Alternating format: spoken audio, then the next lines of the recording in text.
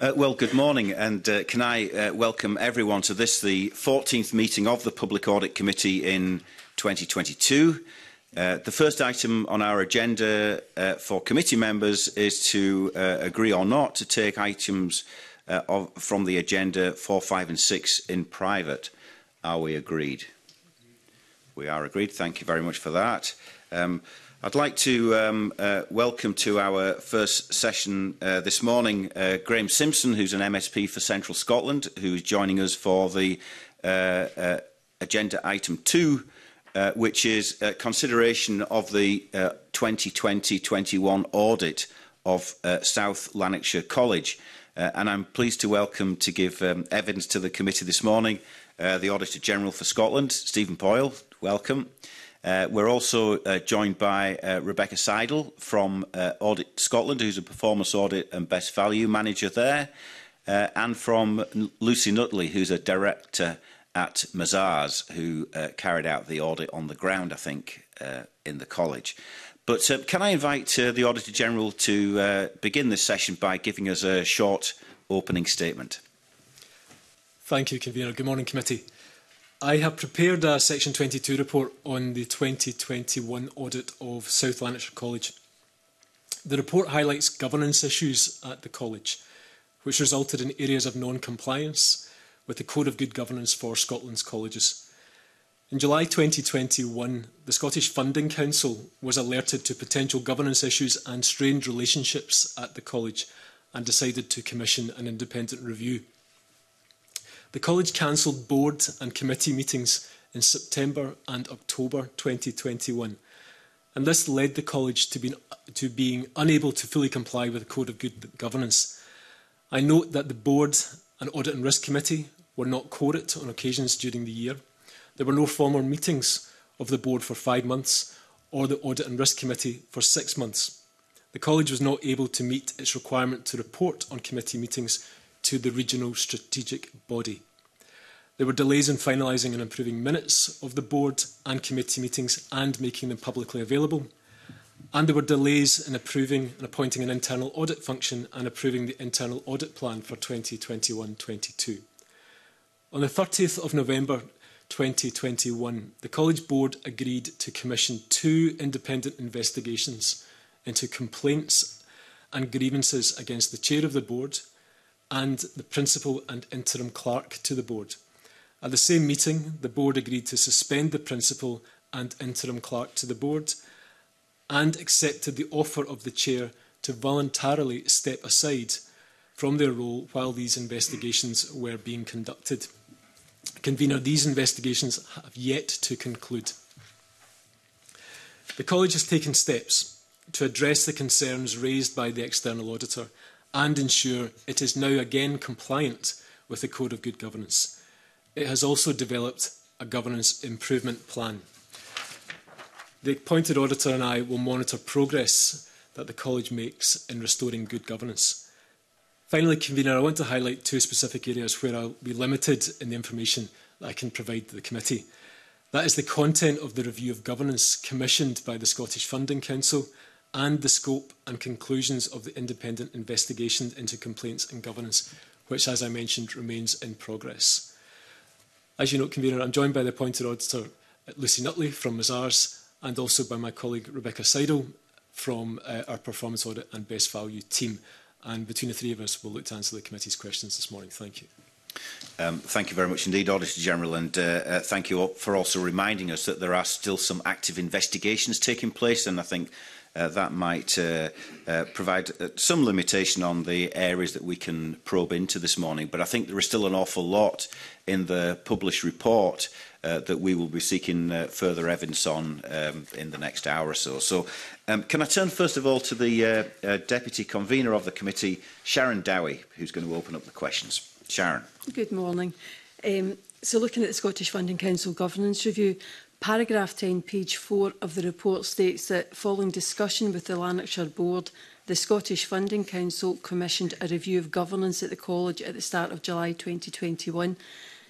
Can you tell us what prompted the Scottish Funding Council to undertake the review? I think we'll, we'll do our best, Deputy Convener, to um, share the information um, that we have on that, and I'll, I'll invite Lucy Nutley to, to come in in a moment just to um, update the committee.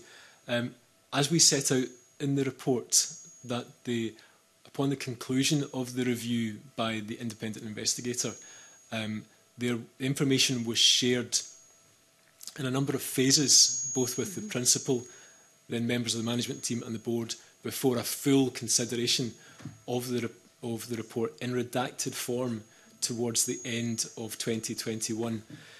As you know, you mentioned that the concerns about um, relationships uh, and grievances were prompted by both the Lanarkshire Board and the principal of South Lanarkshire College to raise concerns with the Scottish Funding Council to ask for their support. Lucy uh, can say a bit more, if she can, about the nature of the scope of that work. Lucy. Thank you. Um, really just to reiterate what the Auditor General has said, um, I understand that the SFC undertook that review due to concerns that have been raised with them by the chair of the regional strategic body and the principal of South Lanarkshire College. Um, can I ask, is it normal for a body to take out a governance review and then not share its findings with an auditor? Um, it's I get, I get, there are circumstances here, Deputy Convener, and I think the, as we note in the report, um, much of the independent investigation, and, and, this is the Scottish Funding Council's investigation as opposed to the college. So our audit work and our report today is about South Lanarkshire College as opposed to the, um, the Scottish uh, Funding Council. Nonetheless, you know, the, clearly it, it matters that where it's possible to be transparent, and I am tempering my remarks somewhat because much of the report does include what could be deemed to be personal data and the appropriateness of sharing that. However, in, in arriving at a stronger position, more effective governance for the college, the college board will need to be satisfied that it is aware of all of the relevant factors that had led to a deterioration in effective governance during the year.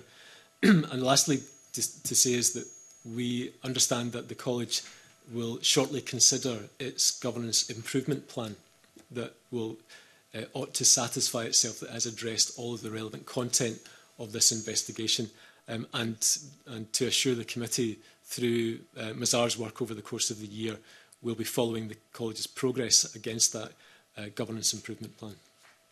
Okay. Um, and looking at paragraph 11, page 4 again, the report states that the Scottish Funding Council shared a redacted copy, so it's highly redacted, we've heard. of its report with the college's principal and chair of the board in August. Other board members and the senior management team receive a redacted copy of the report in October and December respectively.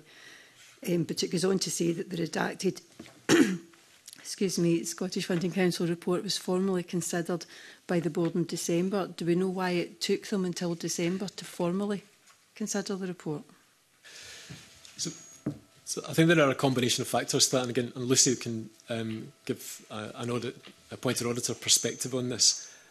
That the investigation um, influenced events that followed in terms of the availability of both the um, the chair of the board, the principal, the clerk to the board, that meetings were cancelled during this period, will no doubt have um, led to a point why it took so long.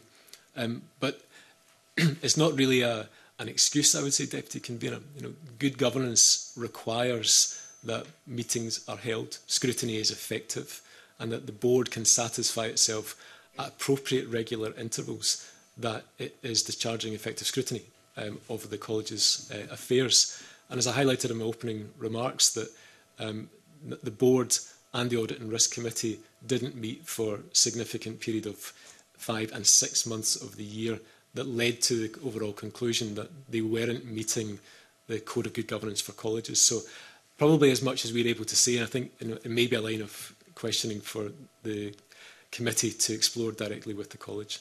But, I, but if I may pause for a second, Lucy may wish to add. Yeah, just to add to that, I think November was the first meeting after there had been quite a gap. There was there was a lot for the board to get through at that November meeting.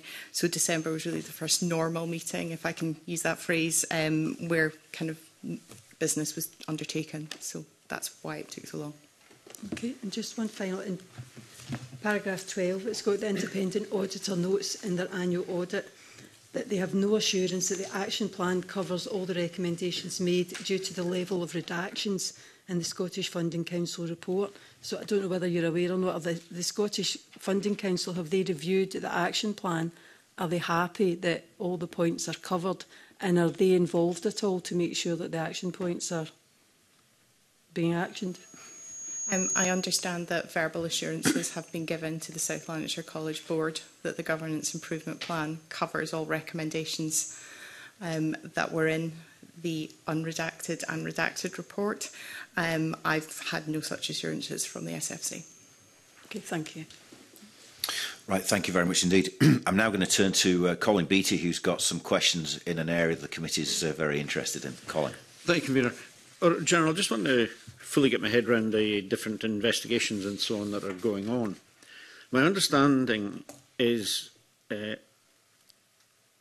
that the SFC start, were, were started a governance review in July 2021. They delivered it in August 2021, which is extremely quick. Do we know what the terms of that particular uh, investigation was? And on the back of that, the extraordinary board meeting on the 30th of November 2021, it was agreed to commission two independent investigations, and I'm assuming that's one against the chair of the board and one against the principal and in, inter and, the uh, interim clerk.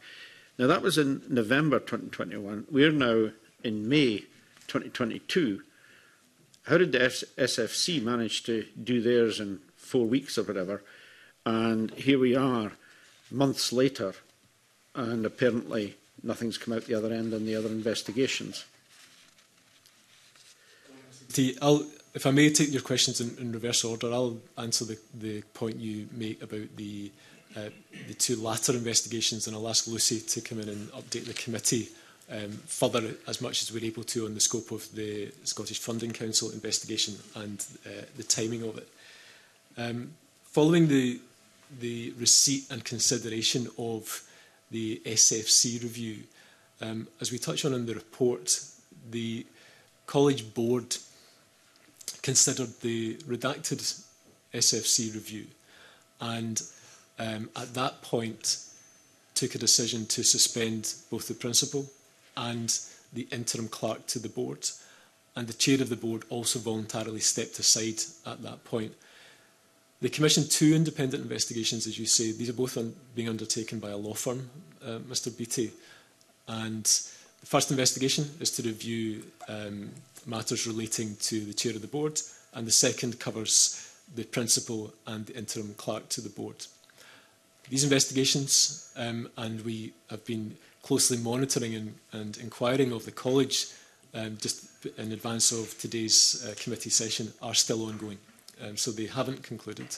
Um, the nature and timing of it um, um, is probably difficult for us to say terribly much more that these are um, matters in respect of individuals. Um, we know that investigations can vary in their timing duration. Um, and an investigation, the scope can broaden depending on what investigators uh, may or may not find whilst they're carrying out investigations.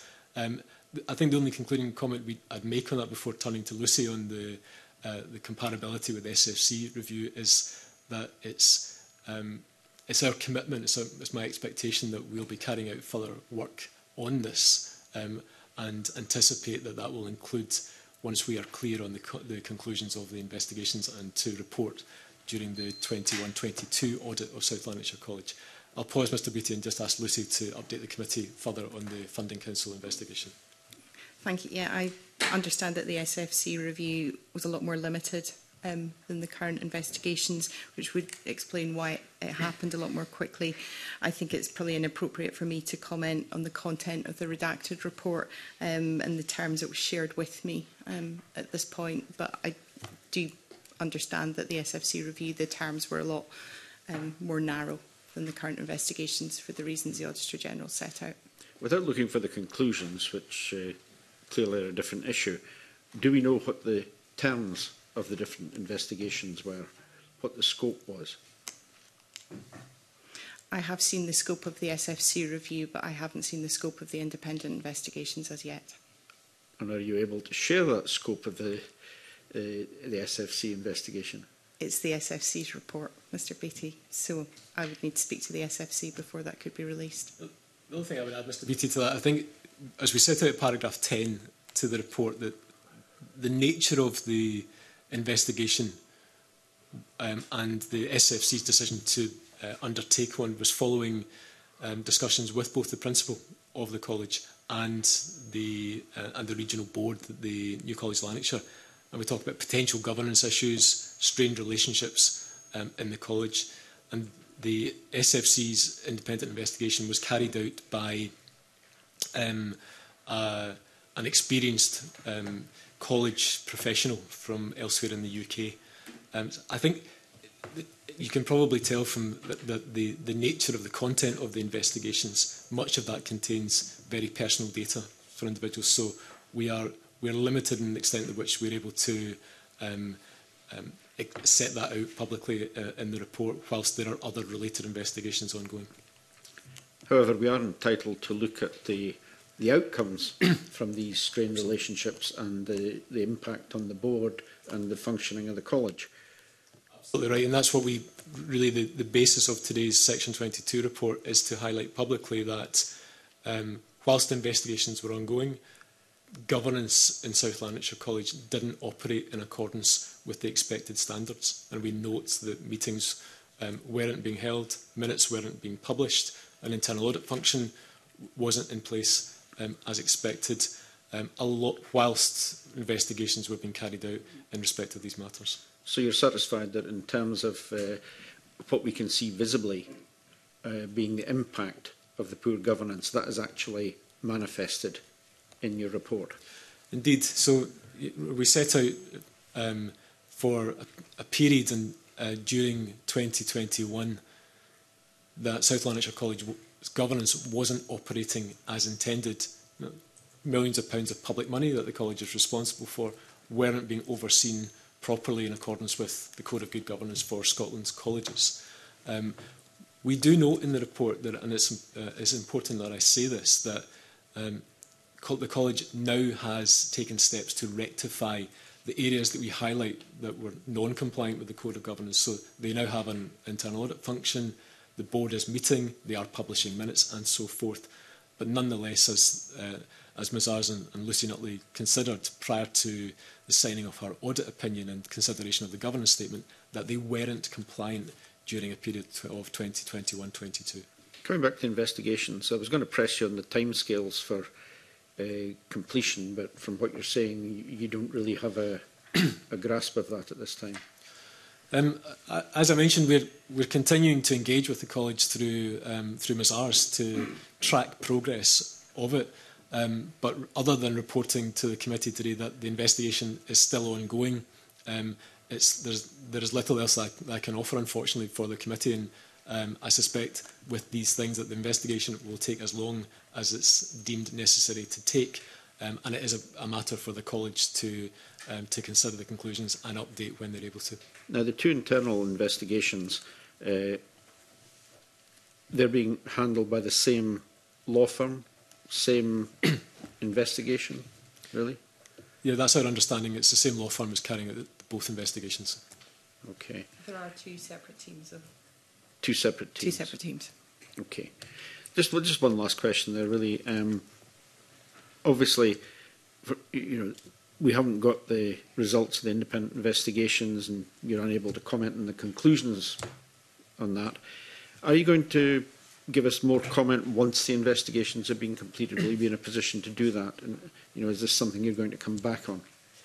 Yeah, that, uh, as I set out in the conclusion of, of the report, I think given the nature of investigations you know, being material to the circumstances, material to good governance at the college, um, I, I commit to undertaking further audit work on this. Um, Mazars will complete their audit of the 21-22 um, financial year um, of South Lanarkshire College, report publicly through their annual audit report, and upon seeing their conclusions, uh, I'll decide whether to do another Section 22 report. But given the fact that this feels like an interim report, Mr Beattie, that feels more likely than not.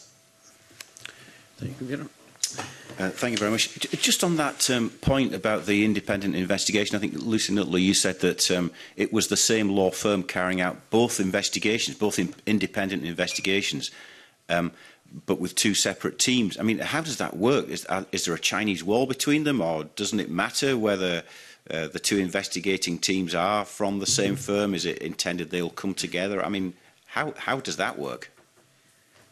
I, I haven't been aware of... Um, all the detail, but I understand, yes, there will be Chinese walls in place. Um, it was deemed important by the college that it was the ind independent investigations were undertaken by two separate teams. So one to look at the um, complaints around the chair and one, the principal and the clerk to the board. Uh, Auditor General, you want to comment? Thanks, The college will, will want to be satisfied in terms of, a, of their appointment um, of the investigators that um, the appropriate scope has been agreed and how the investigations will be discharged.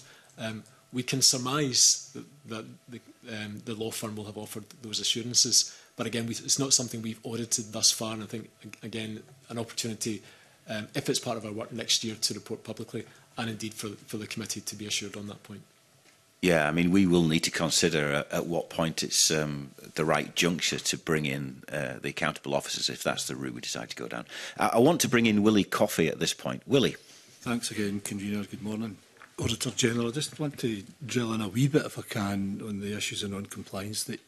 that you raised. And I realise that you might be limited in what you can tell us, but nevertheless, we have to try and ask to try and get to the bottom of this. Um, your report and your comments have told us that The Audit and Risk Committee and the Board basically suddenly stopped meeting round about May and June 2021 and there were no formal meetings of either body. What, what, what explanation was given to, to anyone about this? I mean, this, surely the staff and the wider student body must have been aware of this and asking questions. So were any explanations given to anyone about why they suddenly stopped meeting? Morning, Mr Coffey. I'll ask Lucy again just to set out some of the circumstances that, that we know about for the, the board and, and the Audit and Risk Committee. Um, one of which that Lucy may wish to, to elaborate on is that there was, there was a change of membership um, during the course um, of, of the relevant months. People stepped down, new members were appointed. We identify factors about induction of members and so forth that uh, may have influenced it. And I think it's particularly relevant the fact that the Um, the clerk to the interim clerk to the board and the committee was part of the um, the review and the subsequent um, suspension, which will no doubt have influenced the the timing and availability of uh, of meetings to take place. But I'll ask Lucy to set that out in more detail for the committee. Thank you. Um, yes, um, I, I can only really comment on the Audit and Risk Committee meeting. That's the only meeting I'm as standard invited to. That was cancelled with around three hours notice, the September meeting, and no explanation was given as to why that meeting had been cancelled. Um, I understand the other meetings that were cancelled in that period were cancelled at relatively short notice, but I don't think as short as three hours. And they didn't meet again for a considerable period. We're talking five and six months elapsed, presumably before they decided to meet again. Is that, is that right? I think it took a took a while to to manage diaries and to um, to to get to a point where um, on the 4th of November all board members could meet. I mean, uh, there's a vice chair, surely, and the, the audit and risk committee is kind of semi pretty autonomous, really, and, and able to act on its own behalf and volition. Should, why on earth did they meet, didn't they meet? I, I just can't understand why the meetings wouldn't continue. These, as you've said, are requirements of good governance. Why didn't the vice... Was there a vice chair? Is there a vice chair? So Why didn't they just convene the board meetings and the vice chair would step in? So I think, I mean, listen, may want to comment further, Mr Beattie, uh, Coffey, but what, what we have here is um, they do have a vice chair. So the vice chair has stepped in uh, as part of the um, chairing arrangements while the chair has voluntarily uh, stepped aside as part of the investigations. Um, and there was turnover of board members, which have, have also contributed to the timing of it. But it, it doesn't offer a satisfactory explanation for why effective governance in the college fell below the standards of the Code of Good Governance. You're, you're quite right there. An, an Audit com and Risk Committee plays a key role in overseeing the effective running of any organisation. Um, the, you know, the public reporting, the transparency, oversight of risk, internal controls and so forth. Um, it is unsatisfactory that it mm -hmm. didn't meet during this period and for, such, for six months of that. Mm -hmm.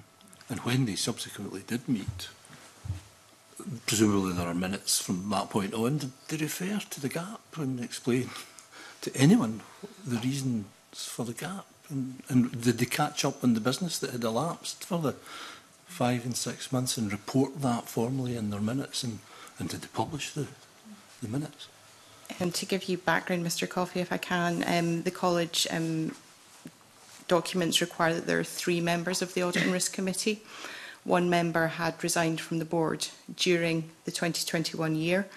Um, as we've put in our timeline and Appendix 1 of the report, the Audit and Risk Committee Chair resigned from the board on the 7th of September. That took the, board, the Audit and Risk Committee membership to one, so it was unable to meet without additional members being co-opted to the Audit and Risk Committee, and that didn't happen um, at that point because there were very few members at that point because the college were aware that a number were due to um, end their tenure at the end of September. So I understand the decision was taken to wait until those new members were in place okay. to, to bolster the Audit and Risk Committee membership. Okay, I understand that. And uh, what about the impact on staff and students, the wider impact? Has anyone assessed that. Have you had a chance to look at that? Is that within your scope to examine that, or is the board looking at that issue and come to any view about the impact that this hiatus has had? So, so I think in, in terms of our work, actually, and, and there, there is also a, an important role for the Scottish Funding Council um, as part of, of these arrangements. The Funding Council is responsible for overseeing the performance um, of the college. Our work looks at the um, accountability of the use of public funds, the compliance um, with financial reporting requirements um, and governance arrangements. We very clearly in, in this report, um, as, uh, as we've set out, looked at the non-compliance with the Code of Good Governance. Um, the role of the board is also clear, Mr Coffey, that they again need to be satisfied that college is functioning properly and can evidence that through effective scrutiny. Um, in spite of the governance issues that we set out in the report pending the, the conclusion of uh, further work on the investigations, we haven't reported and nor have we seen that that has directly uh, translated into um, the effective functioning of the college. Nonetheless, you know, there are there inevitably will be concerns amongst staff students, the local population about the effective running of the college and, and what this might mean. And just the last point from me, convener, it's just about um, the report also says that meetings held up held after June 21 and up to when the auditors signed their opinion off on the 24th of March 22 nothing had been made available online up to that point is that now corrected as, as material being published online so that people can see what's going on in this college Yeah, that's our understanding that the material isn't minutes are now being um, published and available, um, but to have a, a diminution in transparency of um, how public money is being used through um, the college isn't acceptable. It's very clearly a, a contravenes the requirements of the Good Governance Code. Okay, thanks very much from you, convener. Thank you. Uh, thank you very much indeed. I'm now going to turn to Craig Hoy, who's got a series of questions. Craig. Thank you, uh, Convener, and good morning, Mr Bald. I just wanted to turn to the uh, composition, uh, roles and capabilities um, of the board. But before I do that, just perhaps just a technical question. On the 30th of, of September, um, the tenure of four board members ends, and the board therefore uh, fell short um, in terms of the numbers required by statute. But then the board meets again on the 4th of November. So, given that they weren't obviously statutorily uh, uh, uh, competent at that point, what status does that board meeting on the 4th of November actually have? So uh, uh, a, there's a... Lucy can say a bit more about this actually, about the, how the, the college's standing orders effectively will set out how, um, how competent meetings have to be in terms of you know, a, an appropriate quorum of um, members. Uh, before she sets it out, it's perhaps just kind of saying about the appointment nature for Scotland's, the, the Board of, of Scotland's Colleges the chair is appointed by uh, the government and they follow the, the public appointments process, but the board is responsible for the appointment of, of individual members um, of the committee. Um, I, I think it is reasonable to say, Mr Hoy, that um, the, the term of individual board members, the duration and the end point is known. So you know, there, there ought to be a reasonable anticipation of when uh, the individual tenure of a member is coming to an end and that public bodies, colleges and others included, can take reasonable steps in anticipation so that they preserve good governance and will have members in place to support the, the functioning of the college's business. Um, that was clearly an issue as part of the circumstances that we set out in the report. But Lucy may want to co comment a bit further about the detail of how that affected this particular meeting. Lucy. Hmm, thank you. Um, yeah, as the Auditor General says, yes, um, the, the, the end of the tenure was known. The college had taken appropriate steps in line with all the, the processes required um, to have um, six new non-executive members waiting in the wings, if you like, that were ready to be appointed, but due to the cancellation of board meetings had been unable to be ratified by the board at the point that the other members left. Um, the RSB, New College Lanarkshire, the Lanarkshire Board did actually approve the, um, the new six new non-executive members in October 21, and then they were approved formally by the South Lanarkshire College Board at the start of the meeting on the 4th of November 2021. Okay, fine. Obviously, just in terms of good governance, um, you would assume that the uh, board is um, fully aware of its role and responsibilities. Um, the uh, board were appointed on the 4th of November, but they weren't uh, inducted uh, and given full induction until uh, the beginning of February. 2022. Could you just talk me through briefly what the normal induction process would, would cover and what are the risks uh, to have a board member, board members that, that haven't gone through that process? Yeah, uh, the Code of Good Governance recommends that inductions are, are done promptly um, following appointment. We do understand that all members were sent um, weighty government governance documents, apologies, um, and all the kind of the standing orders, etc., of the college. Um, but a decision was taken that they would prefer a face-to-face meeting, um, which at that point was impossible as we had the Omicron variant. So they elected to have face-to-face -face in February 2022. Obviously, the benefit of hindsight is a wonderful thing, but given the seriousness of the issues that were at play within the college, wouldn't it have been far better that they made sure that the board was fully aware of its roles and responsibilities at that stage? I think um, you mentioned the benefit of hindsight, uh, Mr. Hoy, and you know clearly there were circumstances about a, a new COVID variant. Um, perhaps you could have suggested that rather than waiting for a face-to-face -face meeting in the knowledge that at that point, we probably weren't all collectively sure how long uh, that outbreak uh, variant would last, and that there had been governance issues already in the college that an alternative arrangement to support the induction of new members could have been found. Um, and that, as we look back on it, that might have been a better approach to take rather than a wait for an unknown date for when face-to-face -face inductions could have resumed. Yeah, and did, did you ask or did you get any um, indication as to why inductions didn't take place virtually? So I think as we set out in the report, Lucy can say a bit more if she can, that there was a preference for face-to-face -face, um, induction uh, sessions to take place rather than uh, in a virtual setting. Um, Lucy, do we have anything further to say? No, not really. Okay, thanks. thanks, Gabriel. Okay, thanks very much indeed. Um, so you've outlined in the report uh, a, a number of headings, not just one, but a number of headings uh, where there has been uh, a failure to comply with the um, Code of uh, Good Governance. And um, we've gone through a few of them. Uh, Craig Hoy just there speaking about the induction of new board members being one example.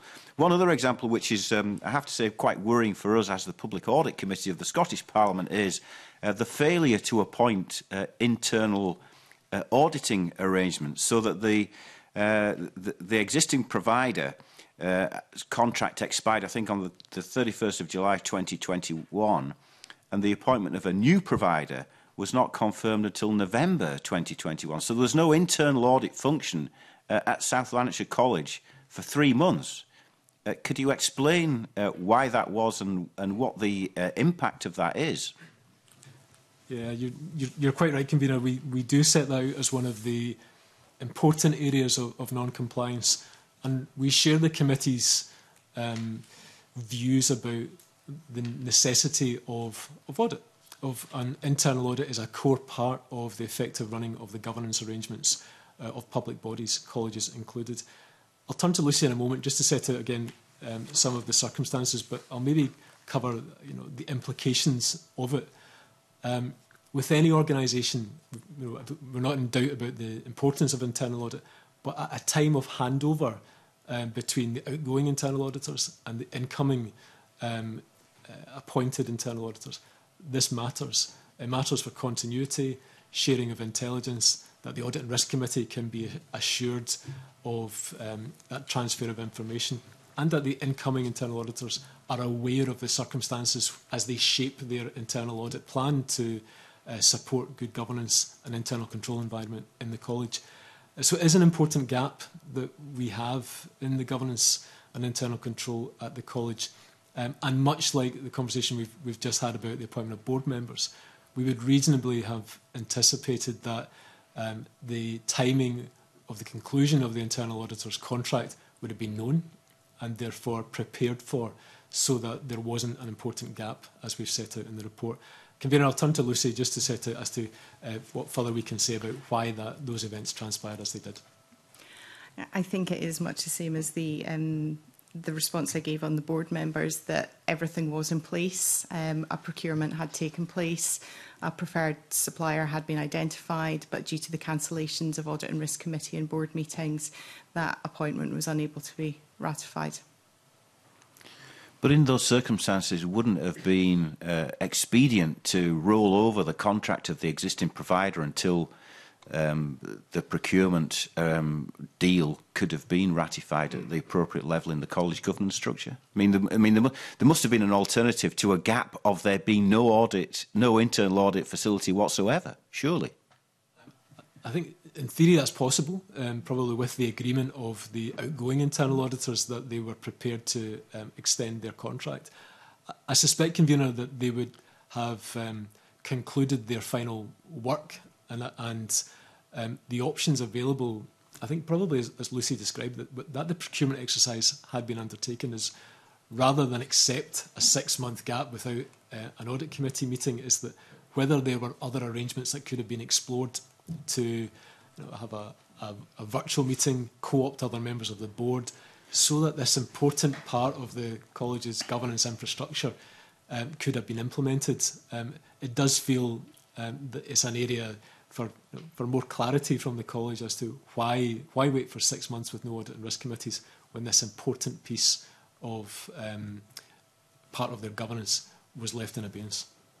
Yeah, I think that's helpful. And and I don't wish to labour the point, but um, I mean, for the benefit of people uh, watching this and people that have got an interest in the um, the good governance and working and the success of South Lanarkshire College, again, could you explain in uh, layperson's terms what the implication is or what the risks are of there being no internal audit function for that period of three months? Yeah, um, I'll, I'll do that, convener. Uh, so an internal audit function um, is in internal auditors have a plan that they discharge for the year, covering um, the key risks to the college's function.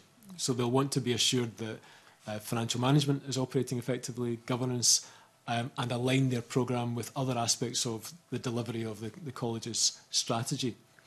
Um, that that didn't happen increases the risk that you know, financial transactions um, weren't happening as intended, governance wasn't being delivered properly, or the aspects of the college's um, overall strategy were being interrupted. Internal audit also plays an important reactionary role. They're there as a deterrent against um, fraud and corruption in any organisation, and they're there as a as a conduit for people to raise concerns um, that they they feel that they are unable to do so um, through other means. Um, it not having an internal audit function matters, convener.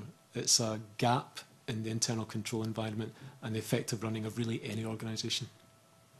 Thank you, and and. Um thanks for that illumination. I think that's helpful uh, and uh, will inform uh, any future evidence sessions we have with uh, uh, the principal people from the college. Can I just, um, before I bring in Graham Simpson, who I know is anxious to come in, um, uh, just turn to uh, really one final area, uh, and that is um, the area you identify in the report um, about um, uh, the the, um, the ownership of the governance improvement plan um, and um, particularly the role of the Lanarkshire Board and uh, the Scottish Funding Council. Um, can you tell us uh, what your understanding is of the role that each of those bodies will play in uh, monitoring the progress of the implementation of the uh, governance improvement plan that's been uh, agreed to?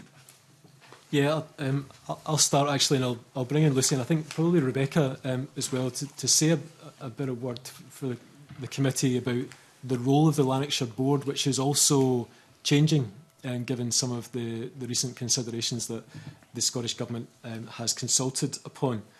Um, so the, the SFC, firstly, is responsible for overseeing um, the performance of Scotland's colleges.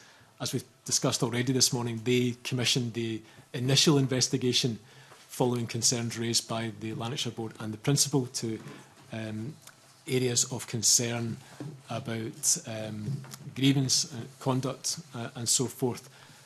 So the Scottish Funding Council will want to be assured that the improvement plan is complete, reflects both their report and those of the independent investigations and that good governance is maintained in um, the college convener. Um, I'll maybe turn to Rebecca next just to say about you know, what role the regional board will play given some of the uncertain uncertainty about its duration.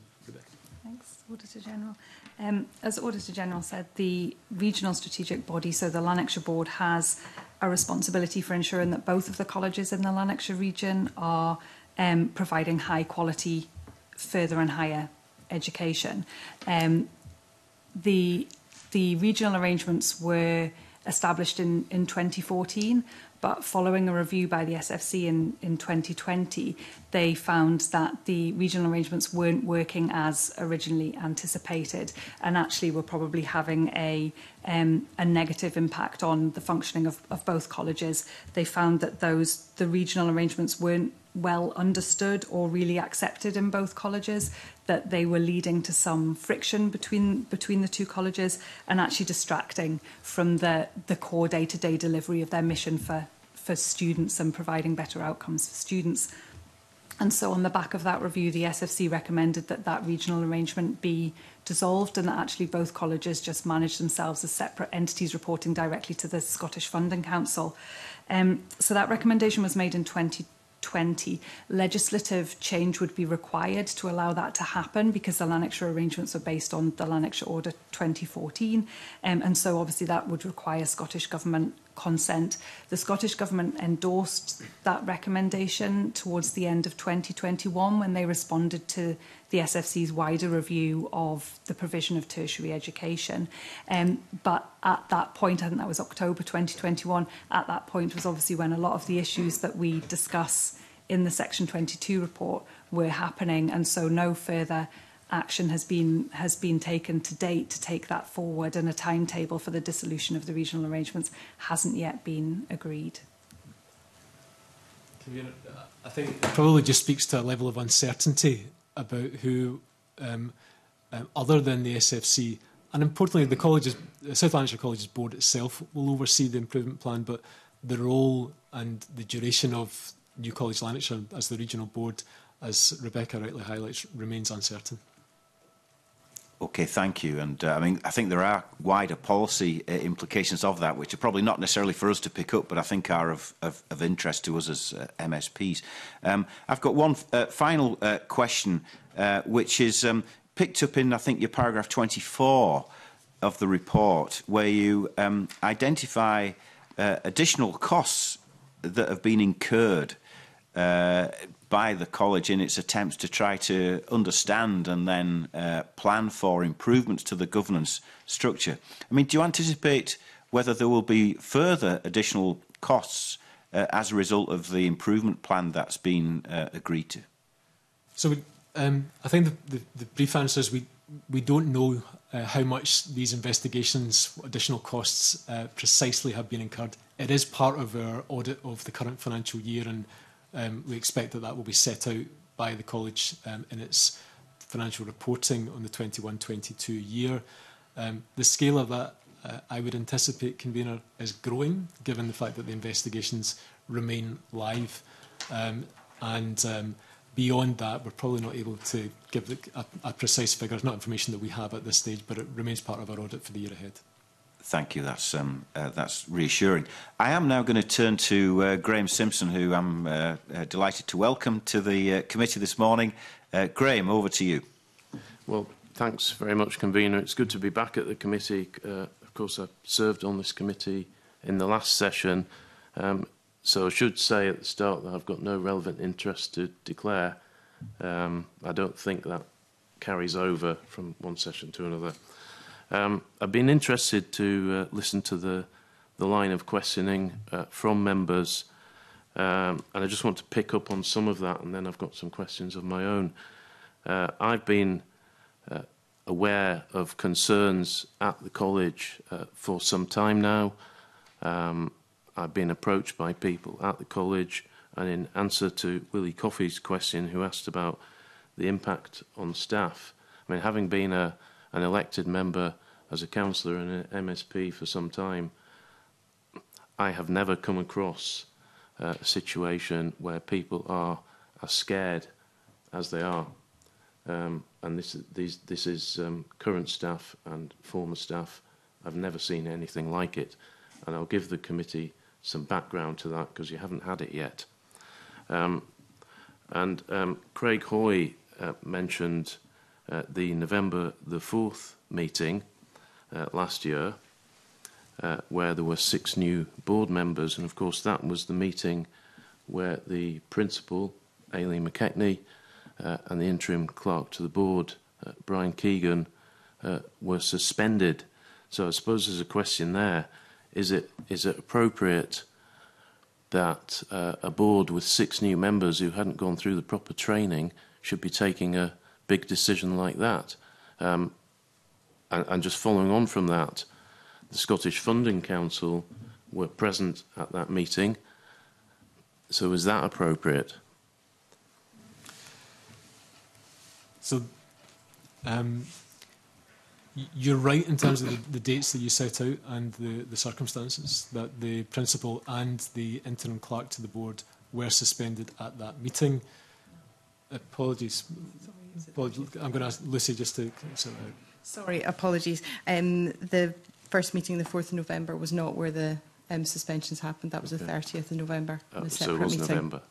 yeah. It was, it was a separate meeting, though. Okay. I, th I think the same point applies, though. You know, you have brand new members who hadn't gone through the proper training by then. Mm -hmm. um, we have a representative of the Scottish Funding Council present at that meeting So the same question applies whether it was the 4th or the 30th.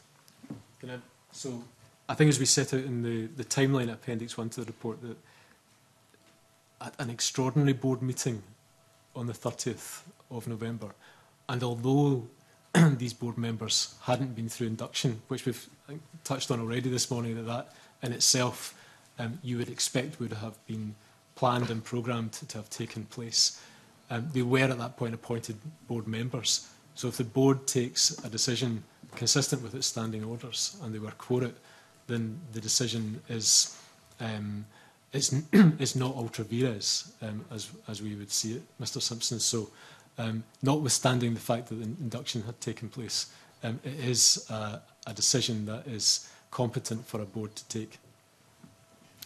And, okay. it, and, and, and in respect of your other question in terms of um, attendance of the, the Scottish Funding Council. Uh, we would observe that the Scottish Funding Council um, has a role to oversee the performance of Scotland's colleges.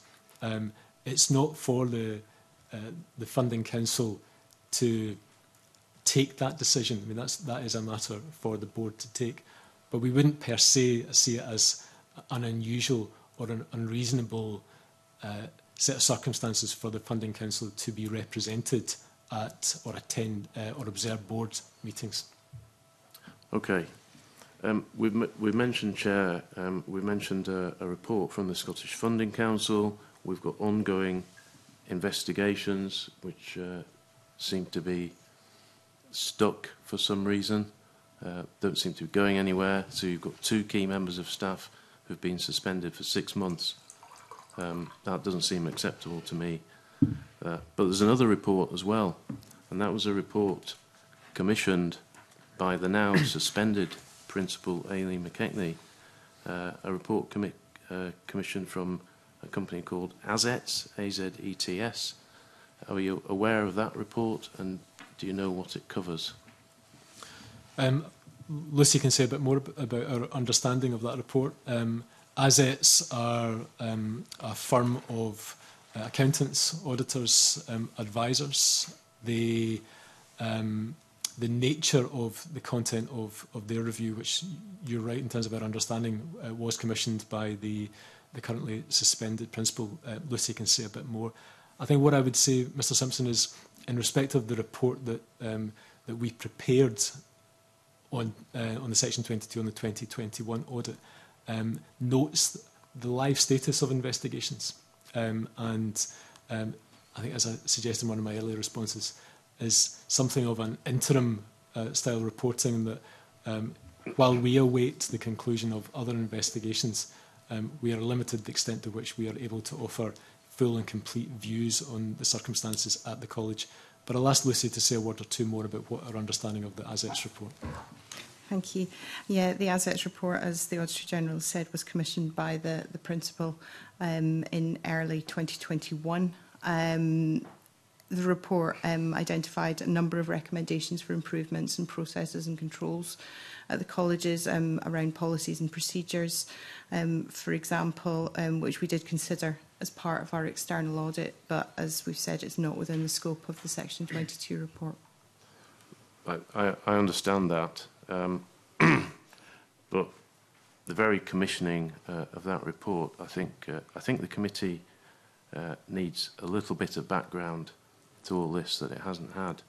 And I want to read out um, minutes of the Board of Management from June the 8th, 2021, and I'll ask you, um, Auditor General, if you're aware of any of this. Um, under a section entitled Internal Audit Update. It says the Chair updated members on a number of allegations of potential staff misconduct within one of the college faculties. The allegations related to three separate matters. Systematic bullying and intimidation of a number of staff over a prolonged period, potential financial irregularities, brackets, of private businesses operating from college premises using college materials and lecturing staff time, close brackets, and potential timetabling anomalies, brackets, fabrication of hours, of students, of classes. Fabrication of hours, students and classes. So the allegation is, and this has actually been reported in the press previously, I'm not saying anything new, but we have it in black and white here in a Board of Management uh, minutes. Allegation of a private private businesses operating from college premises. So, when you said earlier, Auditor General, that millions of pounds of public money weren't being overseen, that is extremely relevant to the to this. I mean, were you were you aware of these allegations? Uh, thanks, Mr. Simpson. So um, the the generality of the the concerns, yes. The, the specific minute that, that you refer to, um, I hadn't uh, read that board minute from the college. Um, noting some of the, the, the phrases that, that you refer to in respect of allegations uh, about behaviours, potential irregularities, potential fabrications, these are all very serious matters, no doubt. And I think they speak to some of the earlier conversation that the committee has had this morning about, um, in such circumstances, effective governance, internal control environment, the absence of an internal audit function um, are all very serious. Um, in discharging their oversight of public funds, public bodies need to have effective control environment governance arrangements in place. Um, and will, the board um, will want to be satisfied I'm sure that all of these allegations are properly investigated. Of course, Convener, in the event that is deemed that uh, uh, these allegations of such seriousness have resulted in not just improper conduct but potential, if there's any financial irregularities, there is an obligation, of course, to report such concerns to Police Scotland. That, that's, that's my view, that this could be a police matter But do you have a role if people want to come to you um, with uh, information, uh, even if it's you know, in confidence? Um, I do, Mr Simpson, uh, under the Public Interest Disclosure Act. Um, Audit Scotland um, is uh, a prescribed organisation and we welcome and encourage um, any members of the public with any relevant information, any members of staff of public bodies and indeed board members If they wish to raise any concerns with Audit Scotland, um, we are clear on our website about how they can do that, and we would actively encourage them to do so. Okay, thank you. Convener, um, I've got no further questions, but I'll just invite the committee to um, take these allegations extremely seriously. They, are, they do relate to your, your brief. Um, I think you should be delving deeper into what's been going on at this college, and I'll leave it there.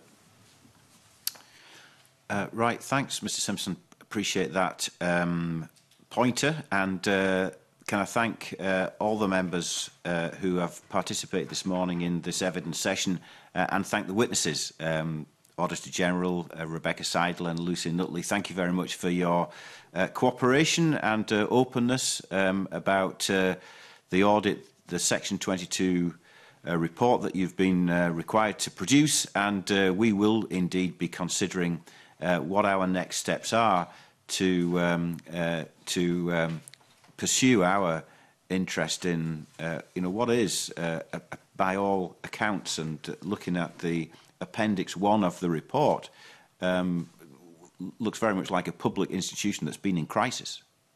So uh, thank you very much indeed, and I will now suspend the meeting to allow a changeover of witnesses to take place. Thank you.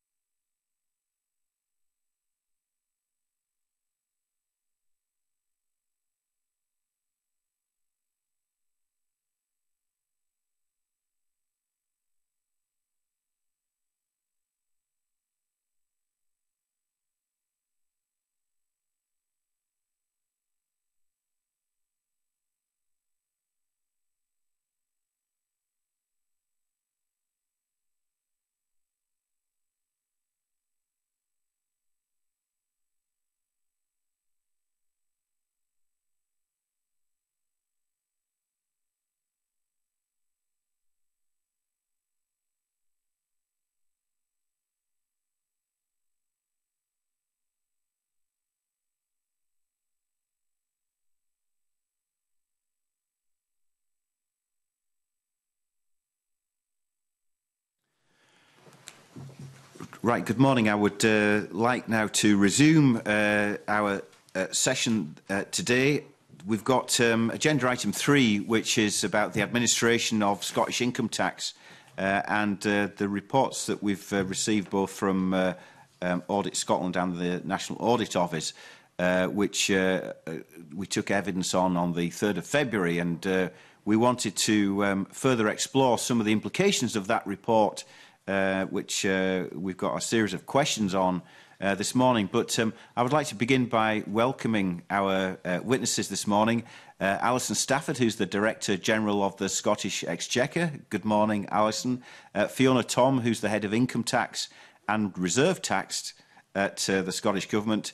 Um, and uh, we've also got Jonathan Athau, Director General for Customer Strategy and Tax Design at the HMRC uh, and Jackie McGeehan, who's the Deputy Director to income ta uh, for Income Tax Policy at uh, HMRC.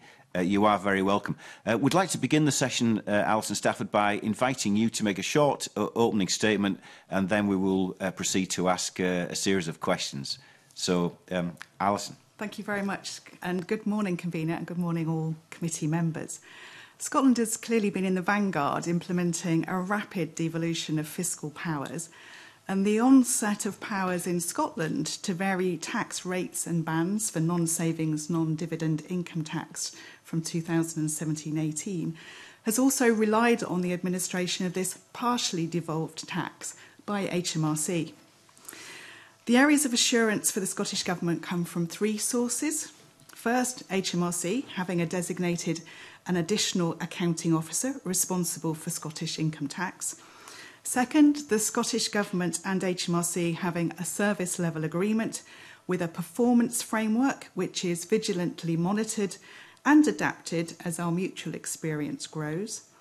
And third, that the National Audit Office provides an audit opinion which has confirmed, amongst other assurances, that the Scottish income tax outturn for 2019 20 has been fairly stated by HMRC. I also take comfort from the Auditor General for Scotland being satisfied that the findings and conclusions in the NAO Controller and Auditor General's report are reasonably based. And this also provides the Scottish Parliament with valuable assurance with regard to this important aspect of the Scottish budget.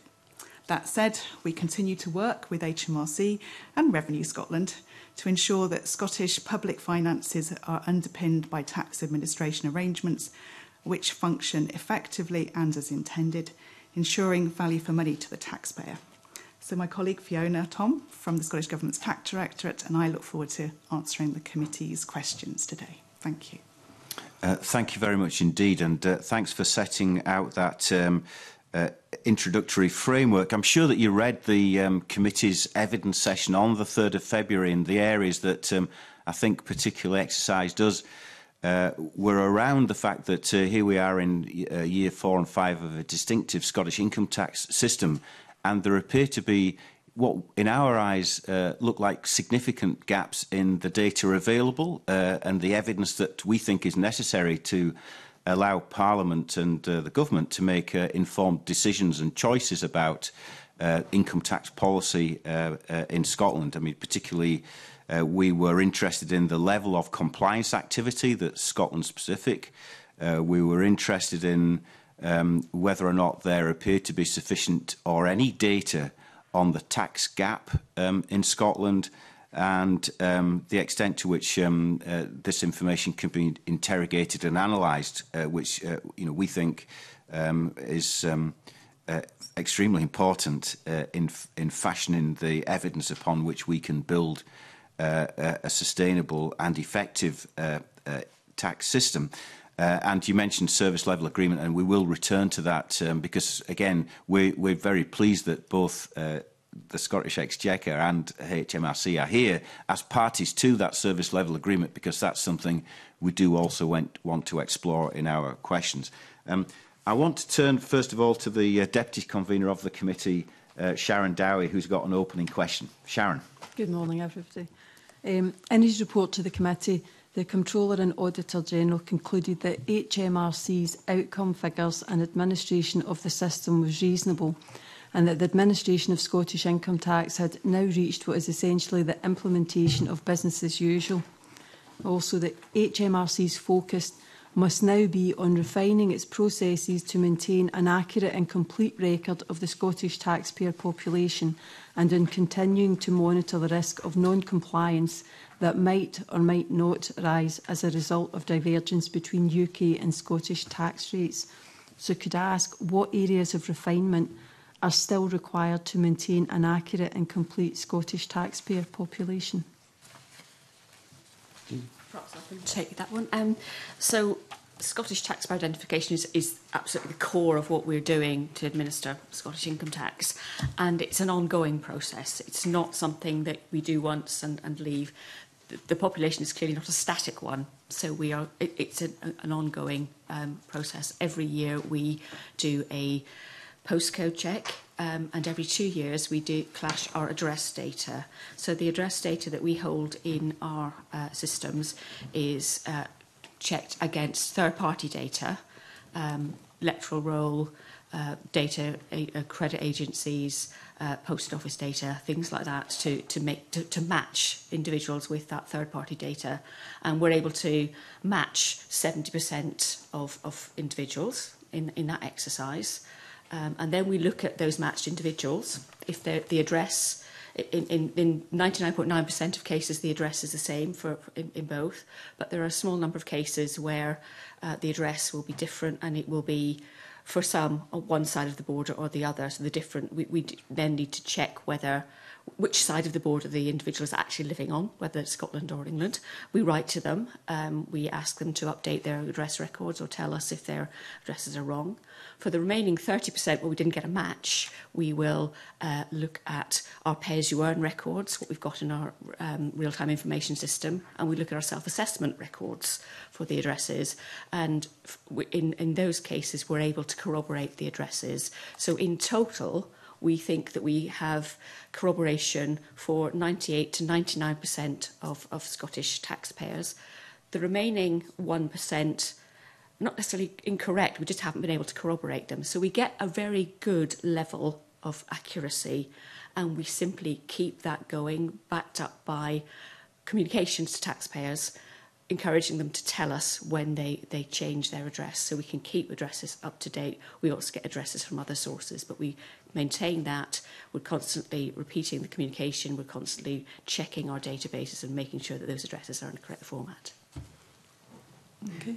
And, and any of the errors that are found then, is it, does it appear to be intentional or unintentional? We see no evidence of, of intentional errors. People Most people will tell us when they, they move house, um, and they, so we get their address. People sometimes give us uh, incorrect postcodes. We get the addresses in a format that doesn't quite work the system, and we have a process of checking those postcodes and correcting them where, um, where someone's got an employment or a pension. We will correct those uh, incorrect postcodes to make sure that we have them accurately recorded as Scottish taxpayers. So there's no loss to, to, to the Scottish Government in terms of, of any revenue. They're accurately recorded as Scottish taxpayers. Thank you. Right, thank you. I'm going to now invite Craig Hoy to ask some questions. Craig. Uh, thank you, uh, Convener. Um, my first question really relates to um, uh, a finding in the um, NAO report, which says HMRC has limited performance data available about its compliance activities in uh, Scotland.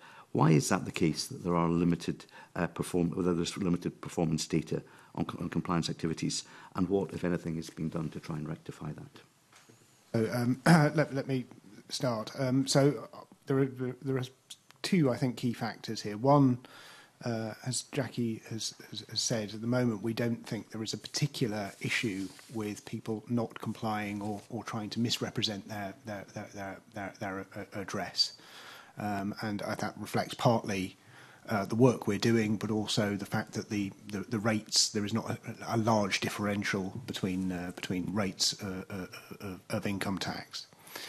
Uh, secondly, um, our approach to non-compliance uh, as HMRC is um, we try to be very holistic. So we try and look at uh, how we can minimise non-compliance across the UK as a whole, and across all the taxes uh, we administer. Now, obviously, income tax is one of the largest uh, revenue raisers.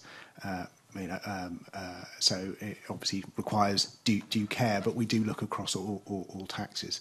So our approach at the moment is to look very much on a sort of where where can we maximise uh, compliance activity for the for, for the UK uh, as a whole. Now, that compliance activity isn't always chasing uh, just chasing uh, uh money. Obviously, we want to raise uh, all the money that is due under the or, sorry, collect all the money that is due under the law, uh, under the law. Uh, but we also have responsibilities in terms of anti-money laundering. we are often tackling, uh, sometimes tackling uh, fraud cases which involve organised crime. So We have a number of objectives for our compliance activity. Some of that is about collecting money, some of it is about tackling, uh, tackling uh, wider illegal activity. And so, from that point of view, as I said, fundamentally, we are trying, we operate what is the, be uh, the best return, uh, not necessarily financial return, but what's the best public policy return across the UK as a whole. That is how we tend to operate. and means that our systems are set up in a way to record that. And while obviously there will be uh, different geographic patterns um, or between Scotland and the rest of the UK, or or, or at more granular le levels th than that, that's not kind of how our systems are set up because of the way we optimize or, or try to optimize our, our activities. Okay, so you're saying that the, that the variation is not particularly significant, so therefore you don't think that you would have concerns. But somebody earning £50,000 in Scotland will pay £1,489 and 10 pence more in tax in Scotland than the, than the rest of the UK. Um, given that when you look at tax, there's always there's compliance, there's evasion, there's avoidance. Um, at, at, at what level would you see the variance uh, rising? Or at, at, at what level of variance would, would you start to have significant concerns that you would need to probe deeper into this data? I think it's very hard to give a, uh, uh um, an exact exact figure because I think it would depend also on understanding what patterns we were seeing in the work Jackie talked about in terms of uh, compliance. Were we seeing more people uh, with problems and identifying their, their, their, their you know their, their, their, residence, and you know could we identify that as some deliberate action, either deliberately misstating or not, not updating or you know negligent behaviours. So we would look, I think, to look at those sorts of behaviours uh, as well as just the, the, the, difference in rates. Now, obviously, uh, our approach as well to um, uh, to compliance is different for different taxpayer groups. Um, you uh, know, we have a dedicated team of people who look at uh, what we call high net worth uh, ind individuals, and, and those in Scotland will be managed Um, differently. So again, what we are also thinking about is what is the, you know, and high net worth individuals might be a group who you think are uh, most uh, at risk of trying to arrange their affairs in a way that uh, might minimize their tax. Um, so again, what we will do there is have a unit that looks at, those those in, individuals, and obviously their residence will be part of of of uh, of that, that that work. So again, it's about a tailored approach, not just geographically, uh, but also thinking about uh, the different types of taxpayer we have and the different opportunities different taxpayers will have to arrange their affairs either legally or, or, or, or less so. Okay. Um, so again, that, that, that's, the, that's the approach we would take there. But we, we do know that the Scottish Government has taken the decision to raise tax on middle-income earners upwards, and, and you identify you know, high net worth individuals or, or millionaires. A millionaire with a house in North Berwick and one in Berwick upon Tweed, um, who works both in London and Edinburgh, and that's conceivably the case. Is that, is, is that now a grey area that concerns you? Uh, no, I, I, think we would say that we've got clear rules in terms of uh, looking at, at, at residents, um, and and of course uh, there's been long-standing issues around residents internationally as well as within the UK. But Jackie, did you want to co comment on the on the issues there about the clarity of, of the residence rules? Yeah, so the residence rules are, we think, clear in legislation. Um, for most people, it, it's it's absolutely clear cut where they they live, um, whether they have one residence and it's in Scotland or it's in England or Wales or Northern Ireland. Um, for those who have two, then um, it's a question of where they spent their, their main residency is where they spend most of their time, where their, their, their basically their, their life is. Um, so if you spend most of your time in, in Scotland, um, than, than you're a Scottish taxpayer. If someone has multiple residences and it's not clear where their uh, main residence is, then it, it becomes a day counting issue. Where do they spend, uh, how much time do they spend in each of those before we can reach the, the conclusion? But it, it's fact-based. It's not something that someone chooses. They can't say, I fancy being a Scottish taxpayer or an English taxpayer. It, it's based on where they actually live and spend their, their, their life. But if I fly in and out of the country from Buenos Aires, you can probably monitor and decount me much easier than if I go between North Berwick and Berwick, Berwick upon Tweedus. So, really, I mean, how, how do you monitor that? Are you just taking it at face value? Are you taking people's word for it? in most cases, we don't think that there, there is an issue, but if we are looking at it from an inquiry point of view, we'd be seeking evidence really about where someone's living,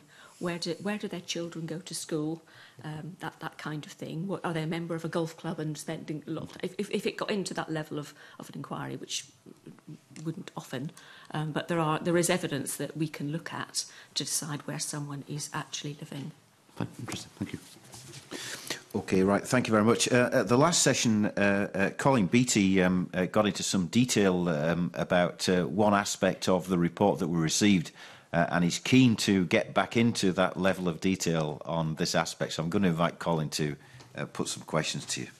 Thank you, Vida. Um, I do have a couple of specific questions to ask, but one of the things that, uh, that I did do after the last meeting was I looked at the NAO e report and I extracted from it just a just an A4 page. It could have been more, but I just kept to the main ones. And this was where there was re references to estimates, where there was say, information not available, where projections and all sorts of things were involved. Now, if you take each one individually, perhaps it's explainable away. But if you take them in the aggregate, surely the impact on Scottish income tax is quite significant. Now, I don't know whether you've done an exercise crudely like this. But it seems to me that taking this in the round, there, is, there, there is, must be concerns as to the accuracy of the uh, income tax take. Now, obviously, that has huge implications both for the Scottish Government and for HMRC. So I would ask you, in a general way, how are you going to deal with all these? You know, are we going to get away from all these estimates and uh, and uh, the fact that we can't ident- we can't identify individual figures and so forth? Maybe that's one for you, Jackie. Yeah.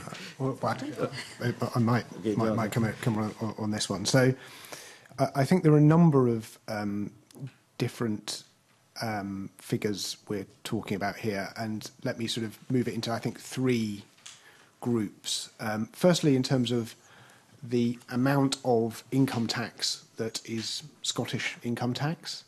Now, 97% of that we think is identified because um, through the PAYE system or through self-assessment is actual liabilities that have been established. So this is just adding up all of those uh, uh, uh residents in Scotland, either what they pay through PAYE or what they pay through uh, self-assessment. So 97% is Uh, uh, is sort of established liabilities taken off forms. All you're doing there is you're not making any estimates, you're just adding, adding things up. So that's one, one element. Now, there is a bit we, we have to adjust because we know uh, there will be some people uh, with self assessment returns who will be late filers and we won't have that information. So the 3% is is is is, is estimated, but 97% is is based on established uh, established liability. So we've got a high degree of confidence uh, confidence uh, there, there. So while there are uh, estimates in that, they don't affect that 97%. There's an awful lot of estimates. No, there, there, there, are. I, I, would just go on. There are then two other elements where the, the estimates are, um, are, are, are, are, are needed. One is in the forecasts. And obviously, we have the Office for Budget Responsibility and the Scottish Fiscal Commission making forecasts. Now, some of that forecast data relies on some of the assumptions you, you, you, you, have there. Now, that doesn't affect the outturn, the money that's actually achieved, but obviously is important for setting budgets um, and setting, uh, setting overall plans uh, in, uh, in, in, in public spending, um, uh, both at a, at a UK level and also uh, uh, in, in, in, Scotland. So that do, will affect, those estimates will affect uh, those, those, those, forecasts. And then there is the block grant, grant adjustment as well, which again, those, some of those assumptions will, will, will, will, affect. But in terms of the outturn data, I really want to go back to that. That is 97% on established li uh, li li liabilities. Now, having worked in uh, uh, uh, sort of related areas for, for, a long time. For a long time, I know that there, we need to make lots of assumptions, particularly with issues of, of, tax, and we'll probably get onto this later. There is always trying to understand what non-compliance is. That is a very, very difficult, uh, difficult uh, uh, issue to tackle, and you will need to make assumptions uh, from from that. But as I said, in terms of the outturn tax collected come back to my fact that 97% of that is on established liabilities. The 3% doesn't require estimation, but 97% is, is pretty clearly established.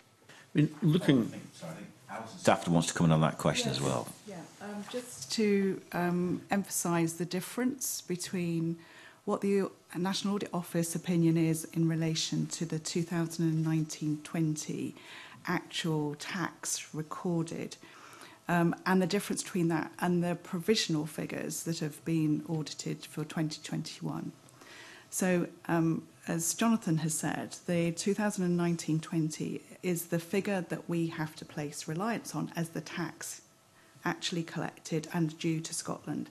And that's a really important figure for us in Scotland. It's the one that we use to assess um, how the forecasts that we used in setting the budget, which come from the Scottish Fiscal Commission, actually then performed and the difference between the Scottish Fiscal Commission's forecast and the block grant adjustments that are associated with that was actually 34 million pounds and that adjustment had to be made in our current year the 22-23 budget so um those elements of estimation to arrive at the figure of 11833 million um, is actually the thing that we absolutely place reliance on. So reading the detail of the National Audit Office and the assurance they can give the government on that is absolutely essential. Um, not wishing to diminish the, the work that the National Audit Office has done on the provisional figure for the 2021 year, but we actually don't use that. We rely on the forecasts that are generated by the Scottish Fiscal Commission in actually setting the budget and then determining what is the flow of cash in that year that comes from uh, from the treasury in terms of our um, budget expenditure plans. So in terms of which are the estimates that I am most vigilant on to absolutely get as um, robust a position from the National Audit Office's opinion of the work of the HMRC then it is that 3% that Jonathan mentioned. And actually, the impact of the net adjustments was £150 million, which would then be a net estimation of minus 1.3%. So I just thought it was important to make the distinction about which are the numbers we actually use in Scotland. The, the number that the National Audit Office are looking at for the 2021 is for the, really for the purposes of the HMRC account. And we have to wait until the full outturn when the um, self-assessments and all of those come in to actually get then the final figure for 2021. So I just wanted to, to both clarify and just say where the emphasis of assurance absolutely is needed for us in Scotland because it's the outturn figure that we use and we rely on the Scottish Fiscal Commission for all the provisional work. If I look at this fairly long list of estimates and workarounds that uh, came out in the NAO report, uh, do most of these exist for income tax in the rest of the UK, or are they really specific to Scotland because of the way the settlement's been done? So, so um, th there are th there will be a wide number of estimates used at a UK level as uh, uh, uh as, as well. So, um, the the challenge we we have, and and we've already explored this in terms of compliance data, is sometimes having a Scottish specific figure for some of these estimates is more challenging to pr- produce because the way the data is collected, because of historical decisions about the way um, IT systems were, were, were, were set up, it, we do not always have a, uh, a, a split, whether that is Scotland or uh, Wales or Northern Ireland or uh, regions of England. We often do not have a lower level of uh, geography to allow us to break down some of those assumptions. So assumptions will be used at a, a, a, UK level. Sometimes we are using a, a, UK uh, assumption and applying it, uh, applying it to Scotland. I mean, given devolution across the different nations, you would expect that by now there is some effective work be taking place on uh, being able to give individual figures to the individual nations. Yeah, uh, we, we, we, as I said, certainly on, on certain estimate, on certain parts of uh, of these figures, we can be very specific. As, as I go back to my ninety-seven percent, the challenge is uh, for some of the other um, uh, some the other uh, other estimates is kind of do we have that data data, data available? And there is a wider conversation uh, going on between uh, the Scottish Government and the Scottish Parliament I know about what other economic data should be available for, for, for, for Scotland. And often it's that economic data that is needed to work out whether uh, what, what, what share uh, of, uh, of, of an activity uh, arises in Scotland. So there is a wider programme there in terms of, uh, uh of, of more data, but sometimes we are um, constrained by decisions that were made well before many of the current devolution arrangements were um, ever considered that limits our ability to provide more and more granular, more, more granular estimates. I still remain of the opinion that uh, the aggregate total of all these uh, estimates and workarounds and so on must be significant, and uh, it's a, it is a concern. But let me move on to something specific. Um, we've re- you've already touched on the question of the missing Scottish postcodes.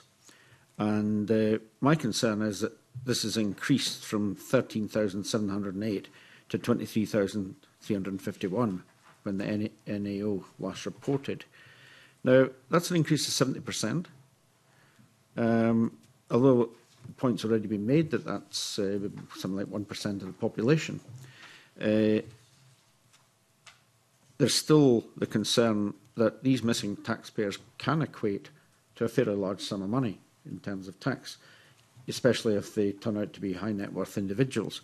So, three questions. What's behind the increase? What's the likely impact on revenues? And what's HMRC doing to fix this? I guess that'll be back to you, Jonathan. I, uh, I, I might start and then uh, hand over to, to, to Jackie. So, um, I, I, I, think this issue of uh, missing postcodes is something we'll want to monitor. I think it is a, a, a an important indicator for us. Uh, and if I go back to some of the questions I, I, answered earlier, we will want to just keep make certain we understand what, what is what is uh, happening with this uh, with this number and understanding exactly what is the longer term trends. While four or five years might feel quite a long time Um, for us, in terms of operating uh, tax systems, we need a bit of a track record to really understand how data is changing uh, over time. Um, uh, you know, what we do is if we can't match or if we have problems with postcodes, as Jackie said, we have a process for working that through. We are able to identify, you know, sometimes that those taxpayers no longer have any liabilities. Uh, it may be the reason we, you know, we've uh, uh, uh, no longer ha- have any, any record for them is maybe they have, um, you know, left work.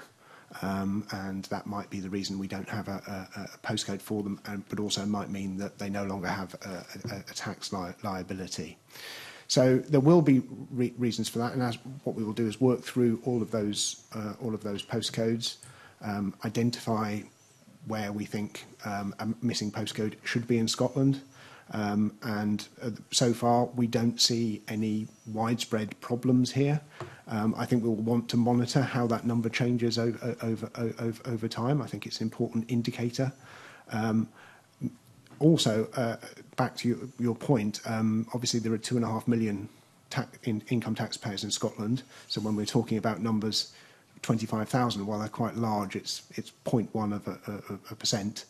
Of, of, of, taxpayers, so the numbers remain uh, remain very small, and we do not think there is any disproportionate effect on on on income tax raised in, in, in Scotland. Jackie, I don't know if there's anything you wanted to add. Yeah, I'll just um, mention that the, the address data we get comes from a number of different sources.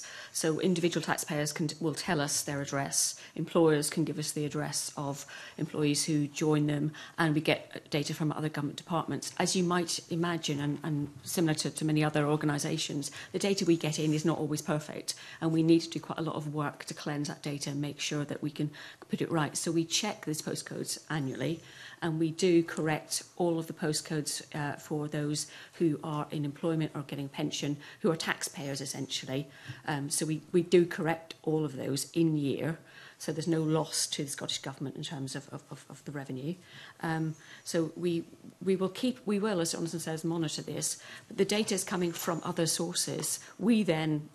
put it right to the extent that we need to to get the right number of tax in terms of tax for, for Scotland. Um, but it's, it is it's a very small proportion of, of the population, a very tiny proportion of, of tax that, that, that is due to Scotland. Jonathan, can I just check on a figure you gave there? You said that uh, this represented 0.1% of the taxpayer population. Isn't it 1%? Sorry, sorry, sorry it's my, my, my fault. Sorry, it's 1%. 1% sorry. Just, just to be sure we're on the same yeah. page. But you haven't said what's behind the increase. Uh, at the moment, we don't we, we, we don't have a good indication of why, why that is. I said it might be some of these some of these issues might might arise um, uh, because uh, uh, of changes in the economy. Um, and so I think we will just want to understand what's going on. Is it people moving between those different categories uh, that Jackie was talking about that creates more noise? in, in, in, in, in the system. So at the moment, we don't have a good indication of that, but it's one something we'll want to understand. Is it about economic change, um, or is there something else something else going on? And back to back to my point, this is something we will continue to monitor because we think it's a valuable piece of information that tells us it might be an early indication of other concerns that we could we could have with the way the system is operating. And you didn't you didn't uh, indicate any scale of the impact on revenues? Uh, well, as, as, as, as, as Jackie said, what we will do is we will work through that. We do not think there is any meaningful imp- impact on, on, on revenues because while that's the starting position of, of those, uh, those, those, those, those taxpayers, um, uh, obviously we then do all the work to make certain we've got a proper postcode for those where there is a, where there is a problem. So we think by the end of that, there is no sort of residual residual problem. Um, so we're confident we're able to tackle it, but obviously it's one we want to keep an eye on to make certain it stays a small uh, a small problem. And just one last question.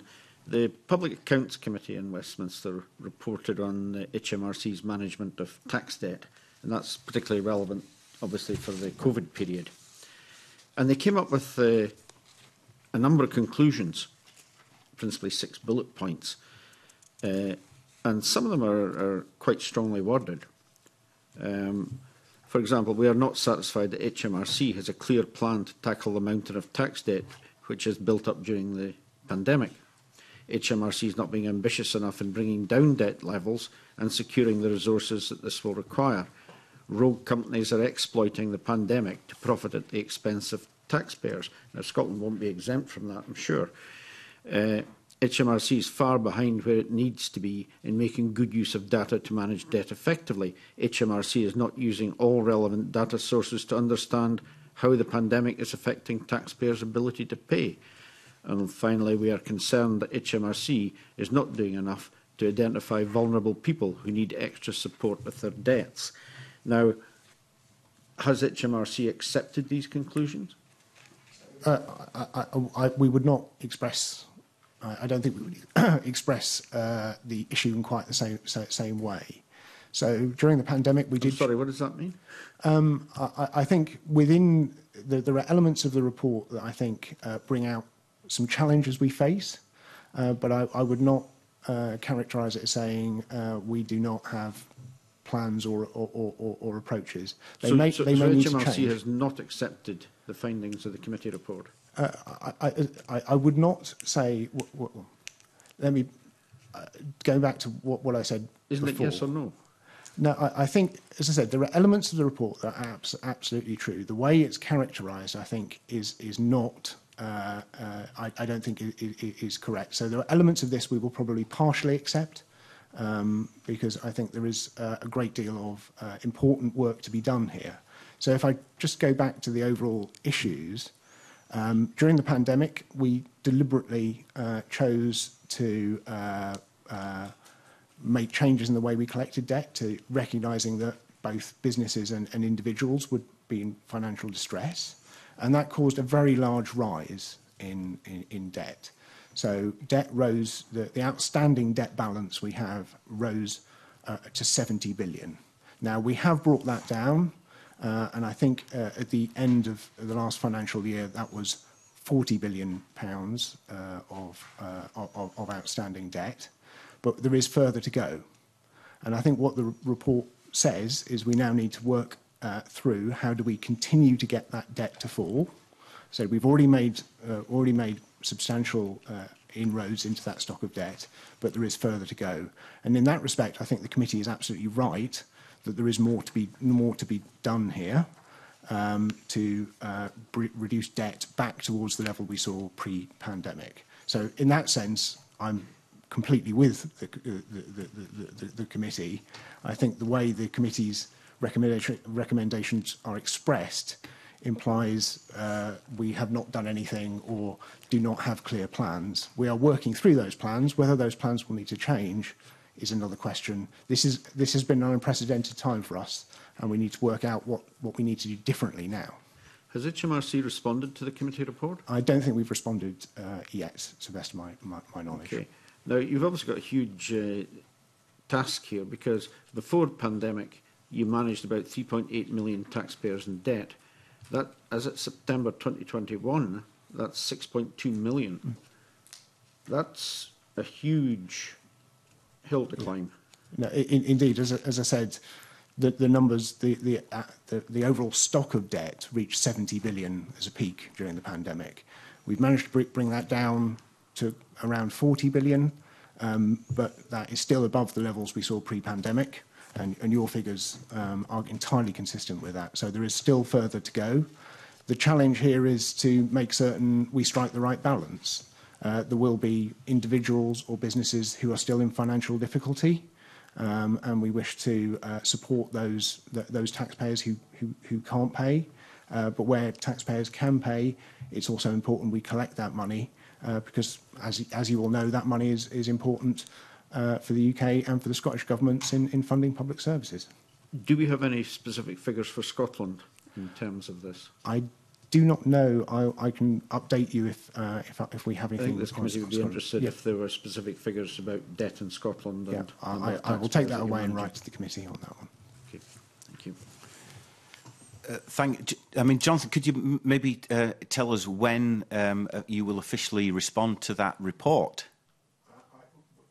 Yeah, I, as I understand it, a three-month uh, grace period uh, on, on this, so we will normally be responding within that uh, within that time, time period. So I, I can't can't comment uh, any anymore. It's not fully my area of responsibility, so uh, I'm not fully cited on all of the ins and outs with that report.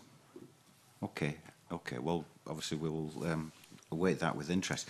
Can, can I just go back to something, Alison Stafford, that you said? I mean, the so as I understand the process here, the um, Uh, the, the, the amendments to the Scotland Act provided for the setting of a Scottish rate of income tax from April 2017 onwards. And um, uh, HMRC collects and administers Scottish income tax. HMRC's accounts are audited by the National Audit Office. And the Comptroller and Audit General is required to report to the Scottish Parliament on HMRC's administration of Scottish income tax His seventh report on Scottish income tax was laid in Parliament on the 14th of January 2022.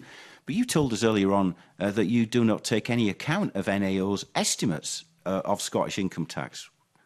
I mean, why, why would you ignore that important body of evidence and solely rely on the Scottish Fiscal Commission's estimates? Um, the way that the arrangements are for Scotland is that the fiscal framework, which is the arrangement that's been agreed by the Scottish Government and the UK Government, is what actually determines how we set our budgets in the first place and then how those budgets are adjusted when we actually have the outturn data.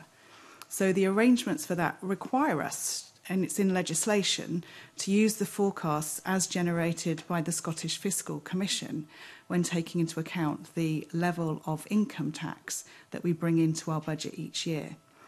So that's that's the that's the arrangement that's in place, and so we are absolutely complying with that. The Scottish Fiscal Commission um, actually set out and they publish how they generate the forecasts for the partially um, devolved tax, like income tax, but also for the taxes that are fully devolved, um, so those that are collected and administered by Revenue Scotland, and also obviously the um, NDRI tax, in effect, that is administered by local government. So it, we use what we are required to use under the fiscal framework and the legislation that's in place in Scotland. Obviously, the Scottish Fiscal Commission um, do have access, and this is one of the things that over the time of there being some data available in terms of the real time information. There are different sources that the Scottish Fiscal Commission draw upon. They actually publish their basis on which they work through their forecasts. But as I say, in terms of the strict requirements of what we need to use, then it's set out in the fiscal framework and we use the Scottish Fiscal Commission's forecasts as set out in Scottish legislation. Okay, so I, un I understand you're compliant with your requirement by legislation, but wouldn't it, as the Director General of the Scottish Exchequer, make sense for you to at least uh, take into account the NEO's uh, estimates of future tax take? So um, what makes sense for me is to actually use what comes from the Scottish Fiscal Commission. The whole reason of do they do they use the NEO's estimates as part of their deliberations? They will use a whole range of data sources, and that is is published. So does that include the NAO? E they will use a whole range of things that come from different sources. It won't necessarily be the NAO. Some of it actually will be from HMRC, um, but from other sources as well. So um, those are the figures that we use. It's part of what's set up, as I say, that we're required to use in operating the fiscal framework here in Scotland as part of the whole package that's the fiscal devolution that's taken place. Okay. Well, I mean, maybe it's the DG for the Scottish Exchequer. Could you possibly write to the committee to let us know what those range of sources are that are used. By the Scottish Fiscal Commission? Yes. Of course, by all means, yeah, Thank and you. provide the link for all the different data sources that they use. It Thank is published, you. by all means, happy to do that. Thank you, but we're still not clear whether the NEO is included in that. I, I can probably just clarify. As far as as far as I'm aware, um, they don't use the HMRC provisional estimate as part of their current forecasting data sources. Um, but obviously, if you wanted to have more information about why or why not that is used within that, you would have to speak to the Scottish Fiscal Commission. But as far as we're aware, they do not use it in their current forecasting of Scottish income tax. But it is a it is a additional number. It is an additional Scottish specific number that we can compare against what we get from the Scottish Fiscal Commission. So if they were completely different, that would that would be something that we would, of course, be aware of and be discussing with the Scottish Fiscal Commission. But to answer your initial question, we don't think they do use it, but we can, of course, send a list of the data sources that okay. they do. And I'm not trying to trip anybody up, so you, we don't think the Scottish uh, Fiscal Commission uses it, but you do use it. No, um, no, we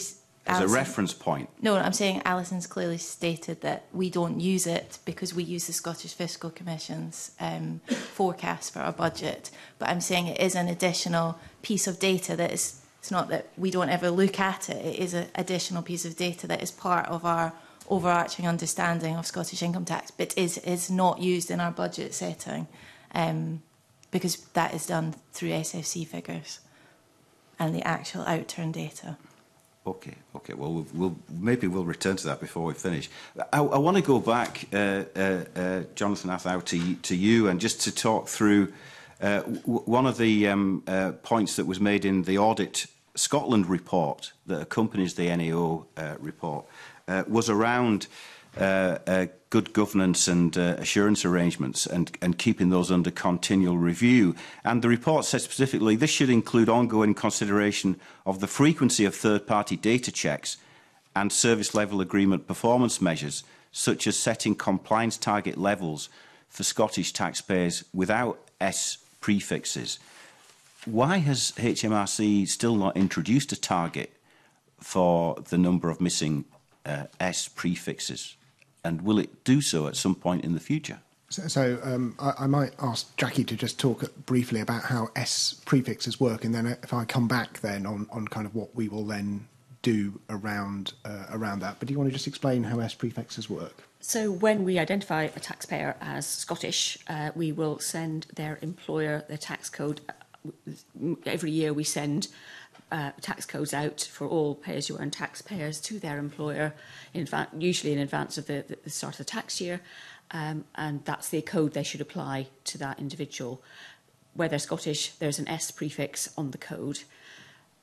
So those taxpayers are correctly identified by, as a, by us as Scottish.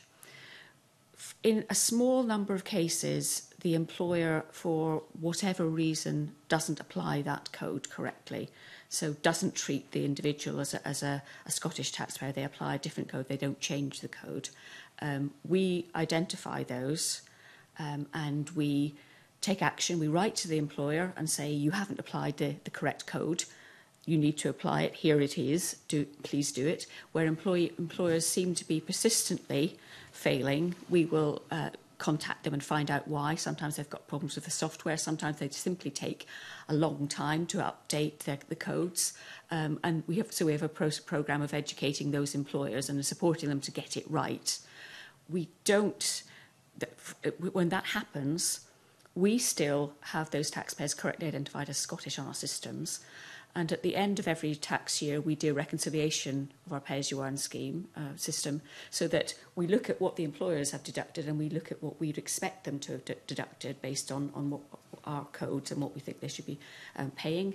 And if there's a difference, if someone has overpaid or underpaid, then we'll, we'll correct that. So the Scottish Government is getting the tax it, it should get. The individual ultimately pays the right amount of tax – The unfortunate thing when an employer gets it wrong is that the individual is having the wrong amount of tax deducted during the year and then may find, unfortunately, they've got a bit more to pay um, because the employer wasn't deducting the right amount. These are employer errors and we take steps to uh, reduce that number of errors as far as we can.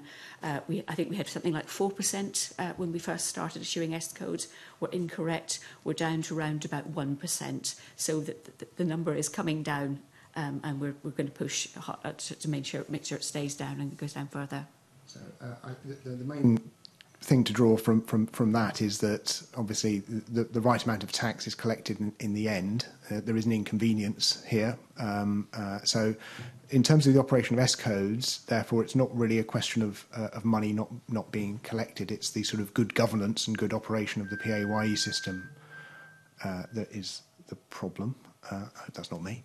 Um, uh, so uh, carry on. Uh, um, so that that's the the issue there. Now there is a wider sort of small problem we have with non, uh, with some P, uh, PAY systems not being operated correctly, and we do have um, work with employers to make certain they are collecting the right amount of amount of tax. However, that's a very small small issue. So in terms of the S codes, we don't think that's a particular uh, risk to the collection of the right amount of uh, right amount of tax.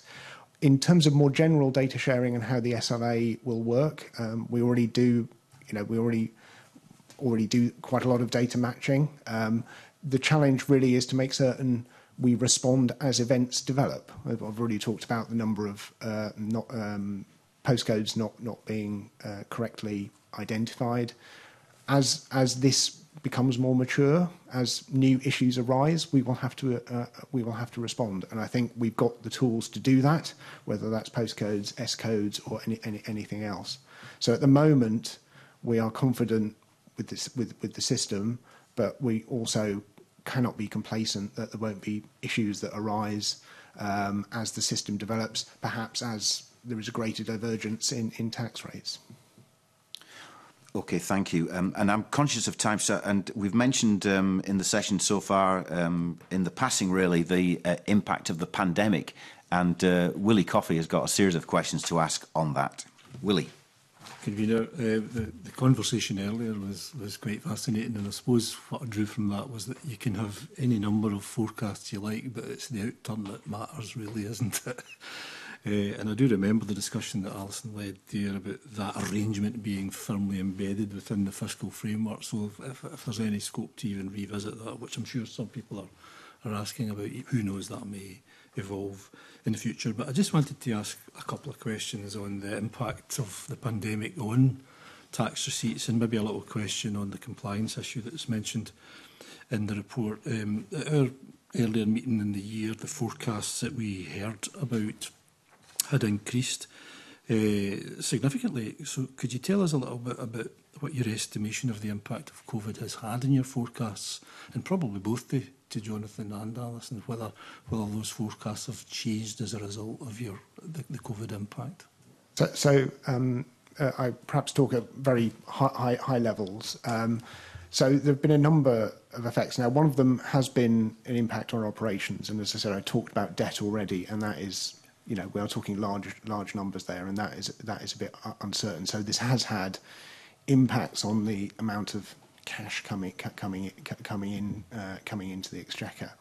In terms of underlying liabilities, I think um, one of the things uh, that's been uh, uh, that, that we've seen is actually the, the impact of COVID on receipts was perhaps less pronounced than many of the earlier uh, uh, earlier earlier earlier forecasts, um, and this has both been because I think the overall uh, labour market, and, and, particularly when we're talking about income tax, you know, uh, employment is a key key driver of that.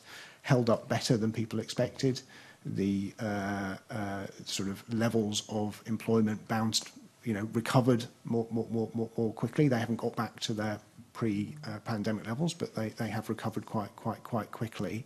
And we saw wage growth holding up quite quite well. And obviously, uh, for for tax receipts It's the number of people in work and the wages they pay and growth in both of those. So it's been uh, it, it's been actually perhaps more encouraging than we, we might have thought. Um, and even this year, so obviously with self-assessment is obviously paid with a long lag, but the self-assessment uh, receipts that came in in, in in January and February this year were, were covering the pandemic year and were actually higher than forecast, again suggesting for self-employed people – uh, the impact of the pandemic was not as large as first, uh, as, as first thought. And as I said, th th I think there are still question marks. We don't know how many companies are still, or, or individuals are still struggling with legacy of debt or, or, or those sorts of those sorts of issues. So there are still a number of uncertainties out there, and there might be a long tail to this of sort of companies that struggle uh, as, as, as the economy develops. And obviously, there's a whole set of new challenges uh, with rising uh, energy prices um, and supply chain disruptions, both in China but also uh, from, from, the, from the war in Ukraine. So lots of uncertainties. But I think in general, receipts held up better than, uh, better than most, people, most people expected. Mm. Thanks, John. Alison, what what's your view on that? Is it, do you mirror those estimates and are you similarly so, confident that there's a better outturn, a better possibility of an outturn than first anticipated. So to take that in two parts, obviously the 2019-20, which is the year that we have the NAO's assurance on of actual outturn, um, the one that we're discussing today, was obviously predominantly pre-pandemic. So therefore, we've not really seen any impact on the pandemic in that particular year's figures. Um, then from the point of view of then what does this mean for our budget? So as we've been discussing, the Scottish Fiscal Commission sets out a forecast position. So that's the figure that we used in our 2021 budget. And the outturn on that will be published by HMRC this summer. So that's when we'll actually see. Um, so, what data do we have in the meantime So, yes, I recognise a number of things that um, are being explained by Jonathan from our economic analysis. And I also recognise that um, with the data that we do have from HMRC, that's the real time information that comes from the PAYE system, that we were not actually seeing anything that was particularly being um, showing any particular shock um, from that flow in that particular time. There is a lag in how we get that data, and there's still things that then have to be refined and cleaned in that data. But during those particular years, that was at least some source. So um, uh, I will wait with interest to see what the actual final outturn is for 2021. And um, any reconciliations that are need will be applied in the budget that will be for 2023 24. So this is the interesting thing between seeing performance in the economy and then actually how it sort of filters through into our public finances. Mm. Is it too early to say anything about the possible impact of the ending of the various support schemes that may have had in your both your forecasts? So um, at the moment, we're not seeing any particular uh, e-, effects. Obviously, um, in particular, the, the, the, the furlough scheme, the CJRS, ended, you know, last last autumn. we didn't see any particularly pronounced uh, effects from, from from from that in terms of you know people falling out of the workforce. Now I'm certain there might have been some uh, some unfortunate people who did lose their jobs as those scheme wound down, but in terms of effects large enough to affect our forecast? Um, no. Now, as I, I, wouldn't say, of, course, please don't interpret what I'm saying as COVID had no effect um, you know, there is a dr dr dramatic effect, effect, effect in the receipts, but maybe not to the extent that people first uh, first thought. And Alison? just to add to Mr. Coffey's question, just to say that um, at the end of May is the usual period when we will publish the medium term financial strategy. That's also another sort of fiscal point in our calendar. And that's a, a point where there will be um, more information on tax revenues and relative earnings growth over the last few years, um, and that will be set out. Some of the analysis that we have will be available for Parliament then. Well, my last point to probably to both of you is that there is some information in our papers that talk about uh, up 29% fewer civil compliance cases opened up uh, by yourselves, uh, which is much fewer than before, and the impact that that could possibly have on tax Raven, you can you say a little bit about yeah, so, so the impact uh, of that, please? Uh, it, again, you know, the, the, the nature of the pandemic meant uh, as as a, an organisation we had to radically change how we how we worked. Um, we had to implement a number of government support schemes um, in in a matter of weeks. uh, from scratch. So we had to redeploy redeploy resources, and at the time that did mean we diverted some of our activity away from uh, some of our compliance uh, compliance activity. Um, that was a conscious decision uh, made uh, made at the time. Now, the, the, the question we are grappling with, and I don't think we have the full answer to at the moment, is the extent to which that is those things are deferred, and we will catch up, and the extent to which we've uh, the bus has gone and uh, we are left at the bus stop on uh, those particular cases. So um, that that's something we are continuing to work through. We've got plans to come out of the pandemic and, and increase our activity back to its nor normal levels, but the extent to which there is a sort of permanent effect of uh, or, or, or in terms of the amount of uh, re compliance revenue we can we can collect is, is still a, a, a bit bit un, un, unclear. Um, you know, we're we're trying to work that through, but again, the pandemic more generally has left a, a situation where there's still many unknowns as to what what will happen in the in the in the coming coming years. Debt is, as I said, is another e, example of where are, that we are we are starting to work through that, but not fully work through all the, all the implications. Have you been able to put even any estimate figure on that at all? I think I think we are we have in, in broad terms, we think much of this we can be we can make back because um, you know the, the, reason you start a compliance investigation is you have evidence. You have evidence that there is something something wrong. So those cases can still be still be worked. Now, what the challenge might be if a taxpayer has disappeared or you know is uh, if, if, they are insolvent, uh, those those cases can't be fully uh, fully fully uh, uh, work through. But in general, we're confident we should be able to make back a large part of that uh, of that of that dip in compliance activity in the future. Um, but again, there are uncertainties around that. No mm, figure, Jonathan. Uh, I, I, would again, I would have to write to you on on, on, on that on, on, that one. Um, it's it's and again, even even now, these will be estimates of what we intend to do in the future, rather than firm uh, numbers of money we've brought in. Okay, obliged if you could yeah. submit that to the committee. Thanks very much, Convener. Thank you.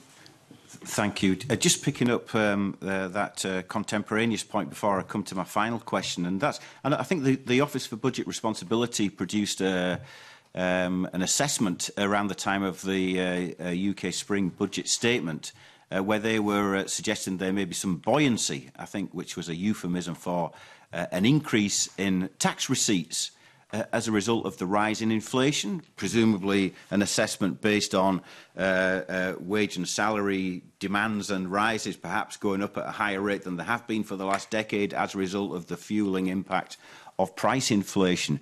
Uh, so uh, my question, first of all, is then to Jonathan.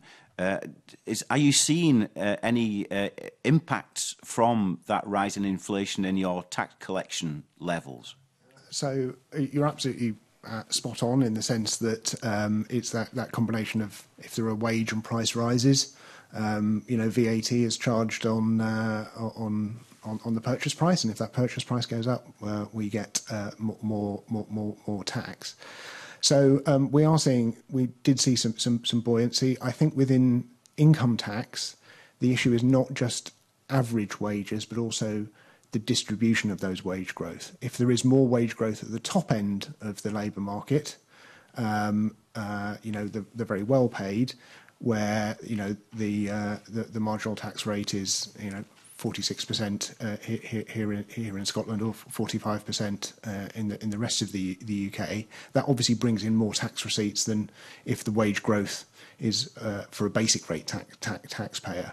So some of what we're seeing, and there's some evidence uh, that's emerged more recently, suggests that um, some of that buoyancy is because uh, particularly there was wage growth amongst higher paid people with a higher marginal tax rate. So there will be a number of factors uh, fa- factors going on here. But you're right in terms of um, tax receipts. Inflation tends to tends to boost uh, tax receipts, but there are many other factors at play here. And, so, and to Alison Stafford and Fiona Tom, I mean, if I look at this figure in the NAO report, figure nine, it looks, it, it, it uh, looks at the uh, areas where there is most divergence uh, in the incidence of tax uh, by earnings. And I think those on around £50,000 uh, in Scotland uh, uh, pay a a higher incidence of income tax than those uh, in other parts of the UK. So, I mean, in, in, in light of that and in light of uh, what's just been said by uh, uh, Jonathan Athau, are you, I mean, are you, uh, is the Scottish Exchequer monitoring this and do you have any sense that uh, tax receipts might be going up and have you got any plans for how they might be spent if they do? Um, I'll ask Fiona to come in on the very specifics about how the inflation factor works um, in relation to the fiscal framework. And let me be really clear, it wouldn't be whether I had any plans to spend anything, it would be for the Cabinet and for ministers to decide. But before we all get too excited, Fiona. Just to echo, uh, echo really what Jonathan said. So for uh, Scottish income tax receipts, Jonathan's described one of the effects that inflation has had that the OBR has forecast in their spring statement. The other effect that, that inflation can have is if bans and rates are indexed by inflation. Um, so we know in the rest of the UK, bans and rates are frozen, so the personal allowance higher rate threshold are frozen. In our system, we do up, we have uprated um, some of the bans by inflation, so that would reduce some of the tax take because of that. So there's kind of two effects there, and whichever one is the strongest would then therefore come through into the overall effect. So we may not see such a um, such an increase that the OBR has. And additionally, we know there are fewer fewer people in Scot fewer taxpayers in Scotland earning at the top end of the distribution, which is one of the which one of the challenges we face with how the um, net position comes comes to pass uh, for Scotland. So we have to wait and see what the Scottish Fiscal Commission will publish in their um, next forecast, which Alison said is alongside the medium term financial strategy on the 31st of May. But they'll be considering all those factors. Okay, right. Well, look, my, my final question is on a, a much more mundane and uh, um, uh, less exciting uh, issue, but one that's very important to us, and that is the service level agreement that exists between Uh, the Scottish Government uh, and HMRC. And uh, you'll have seen in the evidence session on the 3rd of February that we were uh, exploring with uh, Gareth Davis uh, as well as uh, Stephen Boyle uh, uh, how it currently worked and whether it could be improved. And I suppose my, my, my question is really around you know what consideration has been given to the existing terms of the service level agreement and whether it can be improved and, and cover things like the tax gap in Scotland, for example. So Alison Stafford to yes, you. I'm very happy to start. So the service level agreement for 2022 is actually currently under review. So these considerations by the committee is extremely timely for us taking um, the, the observations and your comments into account. Um, so the things that we're particularly looking and having further discussions with HMRC colleagues on are, are very much around the data space. So, still seeing that vigilance on data quality, which is really what's been quite a lot of the scrutiny today, but also data breadth and depth. So that that tax base, the understanding of the dynamic of that tax base, is something that we are better able to understand, and also the timeliness of data as well. Um, we absolutely recognise the comments that uh, in Audit Scotland's report on the Scottish specific compliance data, and we're discussing that further with HMRC. Jonathan may wish to sort of comment more now or not, depends on the time of the committee about the feasibility of that. But clearly, those are the sorts of things that are really you know essential for us to be maximising the fair and proper collection and tax so that we can apply that to public expenditure in Scotland. I mean, you can make comments without prejudice Uh, uh, Jonathan, so if you like. I, I, think we are very open to reviewing the arrangements. You know, we have a commitment to make this work in a way that works for the Scottish Government uh, and, and, and, for the Scottish Parliament to, to, to oversee this. So we're, we're very, very uh, open-minded on this. There are challenges around some of the the, the, the, the, the data, and sometimes it's not lack of willingness, but the, the challenge as to what is practical with the information we, we, we have. But again, this is not a static position, uh, and what is available today may not be the position on what we can do tomorrow. Yeah, I mean, I guess one of our questions and interests is is this a matter of the data doesn't exist or is just impenetrable? Or is it a case of if the Scottish Government paid more than £700,000 a year for it, uh, we could get that wider data set that we think is necessary? th- there will be there are obviously things we some, some things that, that, that that can be done. Some of this is much more ingrained in the system, and and sometimes and just if I could take take an example. Um, sometimes what we are doing to tackle non-compliance, and this non-compliance will affect uh, affect Scotland, is not knocking on people's doors, whether that's knocking on people's doors in Scotland or the rest of the UK, but making system-wide changes. And if we, so, we are making a, uh, we are putting in place arrangements where self-assessment taxpayers will have to use software to report to us. We think that will reduce errors. Now, that's an activity we are taking, but that's an activity we're taking that will affect all of the, the UK. Trying to assign different elements of that to different parts of the UK, I don't know how meaningful that, that, that, that, that, that, that would be in terms of additional activity. So sometimes you have to really stand back and think, what are you trying to get at here and not just breaking down the data for the sake of that. So I think there is a this is a complex picture, but that reflects the complexity of, uh, of administering the tax system. Thank you. And so finally, I mean, do you have a time frame for when you expect your uh, discussions and negotiations to be concluded on the service level agreement? Oh, uh, it will be during this summer, certainly.